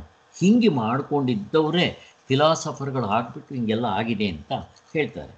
ನಮ್ಮ ದೇಶದಲ್ಲಿ ನಮ್ಗೆ ಆಧಾರನೇ ಇದೆ ವೇದಗಳು ಅಂತ. ಅದು ನಮ್ಮದು ಪುಣ್ಯ ಅಂತ ಹೇಳೋದು. ಇಷ್ಟೆಲ್ಲ ಆದರೂ ತತ್ವಶಾಸ್ತ್ರಕ್ಕೆ ಅಸಾಧಾರಣ ವಿಷಯ ಏನು ಸಿಗಲಿಲ್ಲ. ಅವರಿಗೆ ಈಗ ನಾವು ಹೇಳಿದ್ವಲ್ಲ, ನನ್ನ ನಿಜವಾದ ತಿರುಳೇನು ಸಿಗಲಿಲ್ಲ ಅವರಿಗೆ. ಈ ಪ್ರಪಂಚ ಇಷ್ಟು ಚೆನ್ನಾಗಿ ತೋರುತ್ತಲ್ಲ ಇಷ್ಟು ಚೆನ್ನಾಗಿ ತೋರಬೇಕಾದ್ರೆ ಇದನ್ನು ಸೃಷ್ಟಿ ಮಾಡಿದವ್ರು ಯಾರು? ಯಾರೋ ಒಬ್ರು ಇರ್ಬೇಕು ತಾನೆ, ಅವ್ನು ಯಾರು? ಅವನ ಕಣ್ಣು ಕಾಣ್ತಾನ. ಇದ್ದಿದ್ದರೆ ನಮ್ಗೆ ಯಾಕೆ ಕಾಣೋದಿಲ್ಲ? ಅವ್ರಿಗೆ ಸಿಗಲಿಲ್ಲ. ಯಾಕೆ? ಸಿಗೋದಿಲ್ಲ ಅದು. ಯಾಕೆ? ನಮಗೆ ಗೊತ್ತದು. ಕರ್ಮೇಂದ್ರಿಯಗಳಿಗೆ ಸಿಗೋದಿಲ್ಲ. ಜ್ಞಾನೇಂದ್ರಿಯಗಳಿಗೂ ಎಟ್ಕೊಲ್ಲ. ಪ್ರಾಣಗಳಿಗೂ ಸಿಗೋಲ್ಲ. ಅಂತಃಕರಣ, ಮನಸ್ಸು, ಬುದ್ಧಿ, ಚಿತ್ತ, ಅಹಂಕಾರಕ್ಕೆ ಎಟ್ಕೊಲ್ಲ. ಮತ್ತೆ ಹೆಂಗೆ ಸಿಗುತ್ತದು? ಅನುಭವದಿಂದ ನೋಡ್ಕೋಬೇಕು. ಅದು ನಮಗೆ ಉಪನಿಷತ್ತುಗಳ ಶಾಸ್ತ್ರ ತೋರಿಸ್ಕೊಡೋದ್ರಿಂದ ನಮಗೆ ಸಿಕ್ಕಿದೆ. ಅವ್ರಿಗೆ ಅದು ಸಿಗಲಿಲ್ವಲ್ಲ? ಅವ್ರಿಗೆ ಶಾಸ್ತ್ರದ ಗಂಧನೇ ಇಲ್ಲ. ಆದ್ದರಿಂದ ಇನ್ನು ಪರಮಾರ್ಥವನ್ನು ಪೂರ್ಣವಾಗಿ ಗ್ರಹಿಸಿ ವಿಚಾರಿಸುವುದಕ್ಕೆ ಆದೀತೆ. ಅವ್ರಿಗಂತೂ ಪಾಪ ಆಗೋದೇ ಇಲ್ಲ. ಪರಮಾರ್ಥವನ್ನೇ ಗೊತ್ತುಪಡಿಸಲು ಹೇಗೆ ಸಾರ್ಥವಾದ ಸಮರ್ಥವಾದೀತ ಅವರಿಗೆ ಕಷ್ಟ ಆಗೋದಿಲ್ಲ. ಮಾನವರಿಗೆ ಇಂದ್ರಿಯ ಗೋಚರವಾಗಿರುವ ವಿಷಯಗಳೇ ಅಲ್ಲದೆ ಅದರ ಜೊತೆಗೆ ನಮಗೆ ಇಂದ್ರಿಯ ಗೋಚರ ಆಗೋದು ಬಿಟ್ಬಿಡಿ. ನಮಗೆ ಕೆಲವು ತಪಸ್ಸು, ಯೋಗ, ರೋಗಾನುಭವ, ಭವ್ಯ ಅನುಭವ, ದಿವ್ಯ ಅನುಭವ ಇಂಥವೆಲ್ಲ ಅನುಭವಗಳಿದೆ. ಈ ಅನುಭವಗಳನ್ನೆಲ್ಲ ನಾವು ನೋಡ್ತಾ ಹೋದರೆ ಈ ಅನುಭವಗಳಿಗೆ ಸಿಗುತ್ತಾ ಸಿಗೋದಿಲ್ಲ. ಅದಕ್ಕೋಸ್ಕರ ಇಂಥ ಅನುಭವಗಳು ಕೆಲವಿದೆ. ಈಗ ನೆಲದ ಮೇಲಿಂದ ಐದಡಿ ಮೇಲಕ್ಕೆ ಹೋಗ್ತಾನೆ ಅವನು. ನೀರ ಮೇಲೆ ನಡೀತಾನೆ. ಇಂತಹ ಸಿದ್ಧಿಗಳಿಂದ ದೇವ್ರ ವಿಚಾರ ತಿಳಿತ ಅರ್ಥ ಆಗುತ್ತಾ ನಮಗೆ. ಅವ್ರ, ಅವರ ಆ ದೇವ್ರ ವಿಚಾರ ತಿಳ್ಸಕ್ಕೆ ಬರುತ್ತಾ ಅವ್ರಿಗೆ? ಬರೋದಿಲ್ಲ ಅಂತಾರೆ. ಸಿದ್ಧಿಗಳಿರ್ಬೋದು. ಹಾಗೆ ರಾಮಕೃಷ್ಣ ಪರಮಹಂಸರ ಹತ್ರ ಒಬ್ಬ ಹೋಗಿದ್ದೆ ಹೇಳ್ತಾನೆ, ನಾನು ನೀರ ಮೇಲೆ ನಡೆಯೋದು ಕಲ್ತ್ಕೊಂಬಂದೆ ಅಂತ. ರಾಮಕೃಷ್ಣ ಪರಮಹಂಸರ ತಲೆ ಚೆಚ್ಕೊಂಡು ನಾಲ್ಕು ಕಾಣಿ ಸಂಪಾದನೆ ಮಾಡಿದ್ದೀಯಾ ನೀನು? ಎಷ್ಟು ವರ್ಷಕ್ಕೆ ನಾಲ್ಕಾಣಿ ಸಂಪಾದನೆ ಮಾಡೋದಕ್ಕೆ ಇಪ್ಪತ್ತೈದು ವರ್ಷ ನಿನ್ನ ಜೀವನವನ್ನು ವ್ಯರ್ಥ ಮಾಡಿಕೊಂಡೆ. ನಿನಗೇನು ಬಂತು ಅದರಿಂದ? ನಾಲ್ಕಾಣಿ ಕೊಟ್ಟಿದ್ದರೆ ದೋಣಿ ಸಾಗಿಸ್ಬಿಡ್ತಾ ಇದ್ನಪ್ಪ. ನೀನು ಅಷ್ಟು ಮಾಡ್ಕೊಂಡು ಕಲ್ತಿದ್ದಕ್ಕೆ ನಾಲ್ಕಾಣಿ ಸಂಪಾದನೆ ಮಾಡಿದ್ಯಾ? ಯಾರಾದರೂ ಬುದ್ಧಿವಂತ ಅಂತಾರ? ಇಪ್ಪತ್ತೈದು ವರ್ಷ ಕಷ್ಟಪಟ್ಟು ನೀರ ಮೇಲೆ ನಡ್ಕೊಂಡು ಹೋದೆ. ಏನು ಬಂತು ನಿನಗೆ ಕಿರೀಟ? ಏನೋ ಬಂತ ಅದರಲ್ಲಿ? ನಿನ್ನ ದುಃಖ ಹೋಯ್ತಾ? ಹೊಟ್ಟೆಸ್ ಹೋಯ್ತಾ? ನಿನ್ನ ಸುಖ ದುಃಖ ಹೋಗುತ್ತಾ? ಹೋಗೋದಿಲ್ಲ. ಅದಕ್ಕೋಸ್ಕರ ಅವರು ಅಂಥವೆಲ್ಲ ಉಪಯೋಗ ಇಲ್ಲ ಅಂತ ಬೈತಾರೆ. ಅದಕ್ಕೋಸ್ಕರ ಕೆಲವರು ಈ ರೀತಿ ದಾರಿನಲ್ಲಿ ಹಾಳಾಗಿ ಹೋಗ್ತಾರೆ ಅಂತ ಹೇಳ್ತಾರೆ. ಅವು ಇಲ್ಲ ಅಂತ ಹೇಳಲ್ಲ, ಬಟ್ ನಮ್ಗೆ ಅದರಿಂದ ಲಾಭ ಇಲ್ಲ. ಅವುಗಳನ್ನೆಲ್ಲ ಲೆಕ್ಕಕ್ಕೆ ತಗೊಂಡ ಮೇಲೆ ಅಲ್ವೇ? ನೀವು ಹೇಳುವಂಥ ಪೂರ್ಣ, ಪರಿಪೂರ್ಣವಾದ ಪರಮಾರ್ಥ ತತ್ವ ನಿಶ್ಚಯ ಆಗಬೇಕಾದ್ರೆ. ಅಂತ ಕೆಲವರು ಹೇಳ್ತಾರೆ. ಈ ಎಲ್ಲ ಕಾರಣಗಳಿಂದ ಪರಮಾರ್ಥ ದರ್ಶನ ಇಲ್ಲಿಗೆ ಮುಗೀತು ಅಂತ ಹೇಳೋದಕ್ಕೆ ಸಾಧ್ಯ ಇಲ್ಲ. ತರ್ಕಕ್ಕೆ ಅಂತ ಹಿಂಗೆ ಹೇಳೋರು ಇದ್ದಾರೆ. ಇವೆಲ್ಲ ಏನೂ ಬೇಕಾಗಿಲ್ಲ. ಒಟ್ಟಿನಲ್ಲಿ ಭೌತಿಕ ವಿಜ್ಞಾನ ಶಾಸ್ತ್ರದಂತೆ ಮಾರ್ಪಡುತ್ತಾ ಆಯಾ ಕಾಲಕ್ಕೆ ತಕ್ಕಂತೆ ವ್ಯವಸ್ಥಿತಿ ಆಗಬೇಕಾಗುತ್ತದೆ ಎಂದ ಅನ್ನೋದು ಅವರ ಅಭಿಪ್ರಾಯ. ಯಾರು? ಈ ಫಾರಿನ್ ಫಿಲಾಸಫರ್ಸ್ ಇದ್ದಾರಲ್ವಾ? ಅಲ್ಲಿಗೆ ಬಂದು ಮುಟ್ಟಿದ್ರು ಅವರು. ನೋಡಿ ಸ್ವಾಮಿ, ನೀವು ಏನು ಹೇಳ್ತಿರೋ ಹೇಳಿ. ಇವೆಲ್ಲ ಬರೀ ಮೂಢನಂಬಿಕೆಗಳಾಗೋಯ್ತು. ನಾವಿವೆಲ್ಲ ನಂಬಲ್ಲ. ಆ ಅನುಭವದಲ್ಲಿ ತೋರಿಸ್ಬೇಕು. ಹೆಂಗೆ ತೋರಿಸ್ಬೇಕು? ಸೈನ್ಸ್ನಲ್ಲಿ ಏನಾದರೂ ಒಂದು ಕಂಡಿಡಿದ್ರೆ ಅದನ್ನು. ವೆರಿಫಿಕೇಷನ್ ಎಕ್ಸ್ಪರಿಮೆಂಟ್ ಅಬ್ಸರ್ವೇಷನ್ ಇಂದ ನಾವು ಕಂಡ್ಕೊತೀವಿ. ಹಂಗೆ ತೋರಿಸಿ ನಿಮ್ಮ ದೇವ್ರನ್ನ. ಆವಾಗ ನಾವು ನಂಬ್ತೀವಿ. ಅದಕ್ಕೋಸ್ಕರ ಈ ಸೈಂಟಿಫಿಕ್ ಅನ್ನೋದು ಸರಿಯಾಗಿದೆ. ಅವ್ರಂಗೆ ತೋರಿಸ್ಬೇಕು ನೀವು ಈಗ ಕರೋನಾ ಬಗ್ಗೆ ಕಾಯಿಲೆ ಅಂತಂದರೆ ಅವರು ಬೇಸ್ಮೆಂಟ್ ಕೊಟ್ಬಿಡ್ತಾರೆ. ನೀವು ನಿಮ್ಮ ಲ್ಯಾಬ್ರೇಟ್ರಿನಲ್ಲಿ ಅದೇ ಥರ ಪರೀಕ್ಷೆ ಮಾಡಿಕೊಳ್ಳಿ, ನಿಮ್ಗೆ ಅದೇ ರಿಸಲ್ಟ್ ಸಿಗುತ್ತೆ ಅಂತಾರೋ, ಕರೆಕ್ಟ್ ಅದೇ. ರೀತಿ ನೀವು ಪರಮಾರ್ಥದ ವಿಚಾರದಲ್ಲಿ ನೀವು ಏನು ಹೇಳ್ತೀರೋ, ಅದು ಯಾರು ಚೆಕ್ ಮಾಡಿದ್ರೂ ಗೊತ್ತಾಗ್ಬಿಡ್ಬೇಕು. ಆ ಥರದ್ದು ಯಾವುದಾದ್ರೂ ಇದ್ದರೆ ಹೇಳಿ ಅಂತಾರೆ. ಈಗ ನಾನು ನಿಮ್ಮನ್ನು ಪ್ರಶ್ನೆ ಕೇಳ್ತೀನಿ. ಆ ಥರದ್ದು ಯಾವುದಾದ್ರೂ ಇದೆಯಾ? ಪ್ರತಿಯೊಬ್ಬರು ಅವರವರೇ ನೋಡ್ಕೊಳ್ಳೋ ಹಂಗೆ. ಶಾಸ್ತ್ರದಲ್ಲಿ ಹೇಳುತ್ತೆ ಅಂತ ಇಟ್ಕೊಳ್ಳೆ ಅದನ್ನು ನಾವು ಚೆಕ್ ಮಾಡ್ಕೋಬೇಕು. ಯಾವುದಿದೆ ಆ ಥರ ಎಕ್ಸ್ಪರಿಮೆಂಟ್ ವೆರಿಫಿಕೇಷನ್ ಅಬ್ಸರ್ವೇಷನ್ ಇವು ಮೂರು ನಮ್ಮ ನಮ್ಮಲ್ಲೇ ನೋಡ್ಕೊಳ್ಳೋ ಹಂಗೆ. ಹಾಂ? ನಿಮ್ಗೆ ಗೊತ್ತಿದೆ ಆನ್ಸರ್ ಹೇಳಿ ಯಾರಾದರೂ. ಹಾಂ? ಯಾರಾದರೂ ಒಬ್ರು ಆನ್ಸರ್ ಮಾಡಬೇಕು. ಹಲೋ ಅನು ಅಷ್ಟೇ. ಗಾಢ ನಿದ್ ಅಷ್ಟೇ. ಮೂರು ಅವಸ್ಥೆಗಳು ತೊಗೊಂಬಿಡಿ. ಎಚ್ಚರ ಕನಸು ನಿದ್ದೆ. ಚೆಕ್ ಮಾಡ್ಕೊಂಬಿಡಿ ಎಲ್ರೂ ಸೈಂಟಿಸ್ಟ್ಗಳು ಲ್ಯಾಬ್ರೇಟ್ರಿಗೆ ಹೋಗಬೇಕು ಅವ್ರಿಗೆ ಇವು ಬೇಕು ಇನ್ಸ್ಟ್ರೂಮೆಂಟ್ಸು ಮೈಕ್ರೋಸ್ಕೋಪು ಟೆಲಿಪತಿ ಟೆಲಿಸ್ಕೋಪು ಇಂಥವೆಲ್ಲ ಬೇಕಾಗುತ್ತೆ ಅವ್ರಿಗೆ. ಅವೆಲ್ಲ ಏನೂ ಬೇಕಾಗಿಲ್ಲ. ದೇವರು ಕೊಟ್ಟಿರೋ ಎಚ್ಚರ ಕನಸು ನಿದ್ದೆಯಿಂದ ಪ್ರತಿಯೊಬ್ಬರು ಓರೆಕಲ್ಲಿಗೆ ತಿಕ್ ನೋಡ್ಕೊಂಬಿಡಿ. ಗೊತ್ತಾಗುತ್ತೋ ಇಲ್ವ ನೋಡಿ, ಮುಗಿದೋಯ್ತು ಅಂತಾರೆ. ನೋಡಿ ಎಷ್ಟು ಚೆನ್ನಾಗಿದೆ. ಇದು ಯಾವ ಎಕ್ಸ್ಪರಿಮೆಂಟ್ಗೆ ಏನು ಕಡಿಮೆ? ಇದ್ರ ಬಗ್ಗೆ ಬೇಕಾದಷ್ಟು ಚಿಂತನೆ ಮಾಡಿದ್ದೀವಿ. ಆದ್ದರಿಂದ ಒಟ್ಟಿನಲ್ಲಿ ಈ ವೆಸ್ಟರ್ನ್ ಫಿಲಾಸಫರ್ಸ್ ಅಲ್ಲಿ ಬಂದು ನಿಂತ್ಕೊಂಡ್ರು. ಹೇಗೆ ಸೈನ್ಸು ಹೇಳುತ್ತೋ ಆ ಅನುಭವ ಹಿಡ್ಕೋಬೇಕು ಅಂತ. ಬಟ್ ಆ ಅನುಭವ ಹೇಗೆ ಅಂತ ಅವ್ರಿಗೆ ಗೊತ್ತಿಲ್ಲ. ಅಲ್ಲಿಗೆ ಬಂದು ನಿಂತ್ಕೊಂಡ್ಬಿಟ್ರು. ಅದು ನಮಗೆ ಗೊತ್ತಿದೆ, ವೇದಾಂತಕ್ಕೆ. ಆಗಲೇ ಗೊತ್ತಿತ್ತು ನಮ್ಮ ಋಷಿಮುನಿಗಳಿಗೆ ಏನದು? ಪ್ರತಿಯೊಬ್ಬರಿಗೂ ಇರೋ ಎಚ್ಚರ ಕನಸು ನಿದ್ದೆಯಲ್ಲಿ ಚೆಕ್ ಮಾಡ್ಕೊಂಬಿಡಿ ಅಂತ ಹೇಳ್ತಾರೆ. ಇಷ್ಟೇ. ಇನ್ನು ಭೌತಿಕ ವಿಜ್ಞಾನಶಾಸ್ತ್ರದಲ್ಲಿ ಸ್ವತಃ ಸಿದ್ಧವೆಂಬಂತೆ ಅಂಗೀಕರಿಸಿಕೊಂಡಿರುವ ಕಾಲಾದೇಶ ಕಾರ್ಯಕಾರಣ ಭಾವ ಇವು. ಈಗ ಸೈನ್ಸ್ ಏನಾಗ್ಬಿಡುತ್ತೆ ಇವತ್ತೇನೋ ಒಂದು ಕಂಡಿಡಿತಾನೆ ಅವನು ಎಲ್ಲರೂ ಒಪ್ಕೊಂಡ್ಬಿಟ್ಟಿರ್ತಾರೆ. ಎಲ್ಲ ಪ್ರಪಂಚದಲ್ಲಿ ಹೌದು ಹೌದು ಕರೆಕ್ಟ್ ಆಗಿದೆ ಅವ್ರು ಹೇಳೋದು ಅಂತ. ನೂರು ಜನ ಎಕ್ಸ್ಪೆರಿಮೆಂಟ್ ಮಾಡಲಿ ರಿಸಲ್ಟ್ ಹಂಗೆ ಬರ್ತಾ ಇರುತ್ತೆ. ಇವಾಗ ನಾನು ಒಪ್ಕೊಂಡ್ಬಿಡ್ತೀವಿ ನಾವು. ಆದರೆ ಇನ್ನೂ ಒಂದು ಹತ್ತು ವರ್ಷ ಆದಮೇಲೋ ಯಾವಾಗಲೂ ಇನ್ನೊಬ್ಬ ಅವನಿಗಿಂತ ಬುದ್ಧಿವಂತನಾದ ಸೈಂಟಿಸ್ಟ್ ಬಂದು ಇವಾಗ ನಾವು ಏನು ಕಂಡುಹಿಡಿದಿದ್ವೋ ತಪ್ಪಾಗಿದೆ. ನೋಡಿ, ಈಗ ನಾನು ಹೇಳ್ತೀನಿ ಅಂತ ಫಾರ್ಮುಲಾ ಕೊಡ್ತಾನೆ. ಲ್ಯಾಬ್ನಲ್ಲಿ ಚೆಕ್ ಮಾಡಿದ್ರೆ ಅದು ಕರೆಕ್ಟಾಗಿ ಬರೋಕ್ಕೆ ಶುರುವಾಗುತ್ತೆ. ಈಗ ನಾವು ಹಿಂದೆ ಅಂದ್ಕೊಂಡಿದ್ದು ತಪ್ಪು ಅಂತ ತೋರಿಸ್ತಾನೆ ಹೋಗ್ಬಿಡ್ತಾವಾಗ ಈಗ ಅವ್ರು ಪ್ರಶ್ನೆ ಕೇಳ್ತಾರೆ. ಅದೇ ಥರ ನಿಮ್ಮ ಆತ್ಮಸ್ವರೂಪ ಅಂತ ಹೇಳ್ತಿರಲ್ಲ, ಅದೂ ಕೂಡ ಹಾಗೆ ತಪ್ಪಾಗಿಬಿಟ್ರೆ ಏನು ಮಾಡ್ತೀರಾ? ನಿಮಗಿಂತ ಬುದ್ಧಿವಂತ ಒಬ್ಬ ಬರ್ತಾನೆ, ತರ್ಕ ಮಾಡೋನು ಬರ್ತಾನೆ. ಮಾಡಿಬಿಟ್ಟು ಅವಾಗ ಹೇಳಿಬಿಟ್ರೆ ಏನು ಮಾಡ್ತೀರಾ? ನಿಮ್ಮದು ಹೋಗ್ಬಿಡುತ್ತೆ. ಬೇರೆ ದೇವ್ರನ್ನ ತೊಗೊಂಬಂದು ಇಟ್ಕೋಬೇಕು. ಏನು ಮಾಡ್ತೀರಾ ಅಂತ ಪ್ರಶ್ನೆ ಕೇಳ್ತಾರೆ. ನಾನು ಉತ್ತರ ಕೇಳ್ತಾ ಇದ್ದೀನಿ ನಿಮ್ಮನ್ನು. ಏನು ಮಾಡಬೇಕು ಅವಾಗ? ಹಂಗಾಗುತ್ತಾ ನಮ್ಮ ಆಧ್ಯಾತ್ಮದಲ್ಲಿ, ವೇದಾಂತದಲ್ಲಿ? ಹಲೋ, ಯಾರಾದರೂ ಹೇಳಬೇಕು ಉತ್ತರ?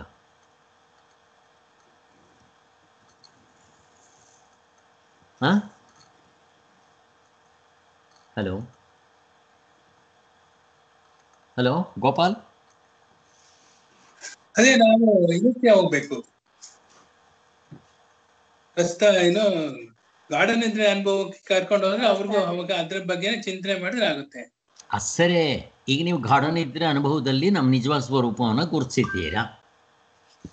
ಈಗ ಸೈನ್ಸು ಒಂದು ಗುರುತಿಸುತ್ತೆ ಇವಾಗ ಕರೆಕ್ಟ್ ಆಗಿರುತ್ತೆ. ನಾಳೆ ಇನ್ನೊಬ್ಬ ಬುದ್ಧಿವಂತ ಬರ್ತಾನೆ. ಅವಾಗ ಅದು ತಪ್ಪು ಅಂತಾನೆ. ಅದನ್ನು ತೆಗೆದಾಕ್ಬಿಡ್ತೀವಿ. ಬೇರೆ ಸರಿ ಅಂತ ಹಿಡ್ಕೊತೀವಿ ಹಾಗೆ ನಿಮ್ಮ ಆಧ್ಯಾತ್ಮದಲ್ಲೂ ನೀವು ಇವಾಗ ಯಾವುದಕ್ಕೋ ಒಂದು ತತ್ವ ಹಿಡ್ಕೊಂಡಿದ್ದೀರಾ? ಅದು ತಪ್ಪು ಅಂತ ಬೇರೆಯವ್ನು ಬಂದು ಹೇಳಿ ತೆಗೆದಾಕ್ಬಿಟ್ರೆ ಏನು ಮಾಡ್ತೀರ ಅವಾಗ? ಏನು ಉತ್ತರ ಇದಕ್ಕೆ ಅಂತಃಕರಣಕ್ಕೆ ಸಂಬಂಧಪಟ್ಟಿರೋದಲ್ವಾ ಮನಸ್ಸಿಗೆ ಸಂಬಂಧಪಟ್ಟಿರೋದಲ್ಲ ಇದು ನೇನಾದ ಅನುಭವ ಯಾವಾಗ್ಲೂ ಚೇಂಜ್ ಆಗಲ್ಲ ಇದ್ದಂಗೆ ಇದ್ದಂಗೆ ಇರ್ತದೆ. ಅಸರೆ ಇನ್ನೂ ಒಂದು ಪಾಯಿಂಟ್ ಬೇಕಾಗಿದೆ ಇಲ್ಲಿ. ಅದು ಇಂಪಾರ್ಟೆಂಟ್ ಯಾರನ್ನ ನೆನಪು ಬರ್ತಾ ಇದೆ? ಸುರೇಶ್. ಅದೇ ಕಾಲ ದೇಶಕ್ಕೆ ಆ ಪಾಯಿಂಟ್ ಹಿಡೀರಿ. ಪಾಯಿಂಟ್ ಹಿಡೀರಿ ಅದು. ಸೈನ್ಸು ಏನು ಹೇಳುತ್ತೋ ಕಾಲದಲ್ಲಿರುತ್ತೆ, ದೇಶದಲ್ಲಿರುತ್ತೆ, ಎಚ್ಚರದಲ್ಲಿರುತ್ತೆ, ಕಾರ್ಯಕಾರಣ ಭಾವ ಹೊಂದುತ್ತಾ ಇರುತ್ತೆ ಅದಕ್ಕೆ. ಮತ್ತು ಅವ್ರು ಹೇಳೋದು ಅನಾತ್ಮದ ವಿಚಾರ ಹೆಚ್ಚು ಕಡಿಮೆ ಆಗ್ಬಹುದು. ಆದರೆ ನಾವು ಹೇಳೋದು ಕಾಲದಲ್ಲಿಲ್ಲ, ದೇಶದಲ್ಲಿಲ್ಲ, ಕಾರ್ಯಕಾರಣ ಭಾವಕ್ಕೆ ಹೊಂದಲ್ಲ ಮತ್ತು ಅದು ಅವಸ್ಥೆ ಒಳಗಡೆನೆ ಇಲ್ಲ. ಅದು ಇಂದ್ರಿಯಗಳಿಗೆ ಸಿಗೋದಿಲ್ಲ. ಸೈನ್ಸ್ ಏನು ಹೇಳುತ್ತೋ ಅದು ಇಂದ್ರಿಯಗಳಿಗೆ ಸಿಗುತ್ತೆ. ಅಂದರೆ ಅವರು ಸ್ವಲ್ಪ ಇನ್ಸ್ಟ್ರೂಮೆಂಟ್ಸ್ ಉಪಯೋಗಿಸ್ತಾರೆ. ಇವಾಗ ಫಾರ್ ಎಕ್ಸಾಂಪಲ್ ಸೂಕ್ಷ್ಮವಾಗಿದ್ದರೆ ಮೈಕ್ರೋಸ್ಕೋಪ್ ತುಂಬ ದೂರದಲ್ಲಿದ್ದರೆ ಟೆಲಿಸ್ಕೋಪ್ ಅಥವಾ ಎಲ್ಲ ಬೇಕಾದಷ್ಟು ಇನ್ಸ್ಟ್ರೂಮೆಂಟ್ಸ್ ಉಪಯೋಗಿಸ್ತಾರೆ ಅವರು. ಆದರೆ ನಮ್ಮಿದಕ್ಕೆ ಯಾವ ಇನ್ಸ್ಟ್ರೂಮೆಂಟ್ಗಳು ಬೇಕಾಗಿಲ್ಲ. ನೋಡಿ ಆನ್ಸರ್ ನಮಗೆ ಗೊತ್ತು. ಅವ್ರು ಪ್ರಶ್ನೆ ಕೇಳ್ತಾರೆ, ಹಂಗೆ ನಮ್ದು ಹೆಚ್ಚು ಕಡಿಮೆ ಬರೋ ಚಾನ್ಸಸ್ ಇಲ್ಲ. ಅದಕ್ಕೆ ಸತ್ಯ ಯುಗದಲ್ಲಿ ಯಾವ ತತ್ವ ಸರಿಯಾಗಿತ್ತೋ ಇವತ್ತು ಅದೇ ತತ್ವ ಸರಿಯಾಗಿರುತ್ತೆ. ಇನ್ನು ಕೋಟಿ ಕೋಟಿ ವರ್ಷಗಳು ಹೋದರೂ ಅದೇ ತತ್ವ ಇರುತ್ತೆ, ಹೆಚ್ಚು ಕಡಿಮೆ ಆಗೋದಿಲ್ಲ. ಇದು ಬೇಕಾಗಿರೋದು ನಮಗೆ. ಆದ್ದರಿಂದ ಕಾಲ, ದೇಶ, ಕಾರ್ಯಕಾರಣ ಭಾವ ಮುಂತಾದ ಸಾಮಾನ್ಯ ಪ್ರತ್ಯಯಗಳ ನಿಜವನ್ನು ಕಂಡುಹಿಡಿಯುವುದೇ ತತ್ವಶಾಸ್ತ್ರದ ಕೆಲಸವೆಂದು ಕೆಲವರು ಪಾಶ್ಚಾತ್ಯರ ಅಭಿಪ್ರಾಯವಿದೆ. ಅವ್ರು ಹೇಳೋದು, ಕಾಲ, ದೇಶ, ಕಾರ್ಯಕಾರಣ ಭಾವ ಕಂಡುಹಿಡಿಬೇಕು ಅಂತ. ಕಂಡುಹಿಡಿದ್ರೂ ಕೂಡ ಅವರು ಯಾವುದಾದ್ರೂ ಆತ್ಮನ್ ಹೇಳಬೇಕಾದ್ರೆ ಕಾಲಾದೇಶ ಕಾರ್ಯಕಾರಣಭಾವದಲ್ಲೇ ಇರಬೇಕು. ಈಗ ಉದಾಹರಣೆಗೆ, ಯಾರೂ ಬೇಡಿ ರಾಮಾನುಜಾಚಾರ್ಯರು ಮಧ್ವಾಚಾರ್ಯರು ಹೇಳಿದ್ರು, ಆ ದೇವರು ಎಲ್ಲಿರ್ತಾನೆ? ಬ್ರಹ್ಮಲೋಕದಲ್ಲಿರ್ತಾನೆ, ಕೈ ವೈಕುಂಠದಲ್ಲಿರ್ತಾನೆ, ಕೈಲಾಸದಲ್ಲಿರ್ತಾನೆ, ಅಲ್ಲಿ ದೇಶ ಬಂತು. ಕಾಲ ಯಾವಾಗ? ನೀವು ಸತ್ ಮೇಲೆ ಅಲ್ಲಿಗೆ ಹೋಗ್ತಿರಲ್ಲ, ಅಲ್ಲಿರ್ತಾನೆ. ಮತ್ತೆ ಇಬ್ರು ಇರ್ತಾರಲ್ಲಿ ಅವನೇನಾದರೂ ಶಾಪ ಕೊಟ್ಟರೆ ಏನು ಮಾಡ್ತೀರಾ? ಬಂತು ರೋಗ. ನಾ, ವೇದಾಂತ ಅಂತ ಅಂತ ತತ್ವನೇ ಹೇಳೋದಿಲ್ಲ. ನಾವು ಹೇಳೋ ತತ್ವ ಕಾಲದಲ್ಲಿಲ್ಲ, ದೇಶದಲ್ಲಿಲ್ಲ, ಕಾರ್ಯಕಾರಣ ಭಾವ ಬೇಕಾಗಿಲ್ಲ ಅವಸ್ಥೆಯಲ್ಲೇ ಇಲ್ಲ ಇಂದ್ರಿಯಗಳಿಗೆ ಸಿಗೋದಿಲ್ಲ. ಅವ್ರು ಹೇಳೋ ದೇವರು ನೀವು ಕಣ್ಣಾರೆ ನೋಡ್ತಾ ಇರ್ತೀರ ನಿಮ್ಮ ಎದುರುಗಡೆ? ಅಂಥ ದೇವ್ರನ್ನಲ್ಲ ಇಲ್ಲಿ ಶಾಸ್ತ್ರದಲ್ಲಿ ಹೇಳೋದು. ನೋಡಿ, ಅವ್ರು ಕಿತ್ಕೊಂಡು ಹೊರಟೋಯ್ತು ಅವ್ರದ್ದು. ಆದ್ದರಿಂದ ಅಂಥದ್ದನ್ನು ಇಲ್ಲಿ ಹೇಳ್ತಾ ಇಲ್ಲ. ಆದರೆ ಇದರ ಜೊತೆಗೆ ಧಾರ್ಮಿಕ ನೈತಿಕ ಭಾವನೆಗಳ ನಿಜವನ್ನು ಸೇರಿಸಿಕೊಂಡು ಒಟ್ಟಿನ ತತ್ವವನ್ನು ನಿರ್ಧರಿಸುವುದರೇ ಅದರ ಕರ್ತವ್ಯವೆಂದು ಮತ್ತೆ ಕೆಲವರು ಬಗಿತಾರೆ ಅಂತೂ ಈ ತತ್ವಶಾಸ್ತ್ರದ ವಿಷಯವೇನೆಂಬುದು ನಮ್ಮ ದೇಶದಲ್ಲಿ ಹೇಗೋ ಹಾಗೆ ಅವರ ದೇಶದಲ್ಲೂ ಕೂಡ ಬೇಕಾದಷ್ಟು ಅಡಚಣೆಗಳು ಅಪ್ ಆ್ಯಂಡ್ ಡೌನು ಎಲ್ಲ ಇದೆ. ನಮ್ಮ ದೇಶದ ದರ್ಶನಕಾರರಿಗೆ ಹೆಂಗಿತ್ತೋ ಆ ದೇಶದ ತತ್ವಚಿಂತಕರಿಗೂ ಇದೆ ಅಂತ ಹೇಳ್ತಾ ಇದ್ದಾನೆ. ಇಷ್ಟು ಇವತ್ತಿಗೆ ಮುಗೀತು. ಅಲ್ಲಿಗೆ ಮೂರನೇ ಚಾಪ್ಟರ್ನ ಶುರು ಮಾಡಬೇಕು. ಅದನ್ನು ನಾಳೆ ಮಾಡೋಣ. ನಾಳೆ ರಾಜೇಶ್ವರಿ ಅವ್ರ ಕ್ಲಾಸ್ ನಂದಿಲ್ಲ. ಸೊ ಅಲ್ಲಿಗೆ ಬುಧವಾರ ಕಲಾ ಅವ್ರ ಕ್ಲಾಸ್ ಇರುತ್ತೆ. ಅವತ್ತು ನಂದಿಲ್ಲ. ಮತ್ತೆ ಗುರುವಾರ ನೋಡೋಣ. ಗುರುವಾರ ಈ ಒಂದು, ಎರಡು ಚಾಪ್ಟರ್ನೇ ಚೆನ್ನಾಗಿ ಕ್ವಶನ್ಸು ಡೌಟ್ಸ್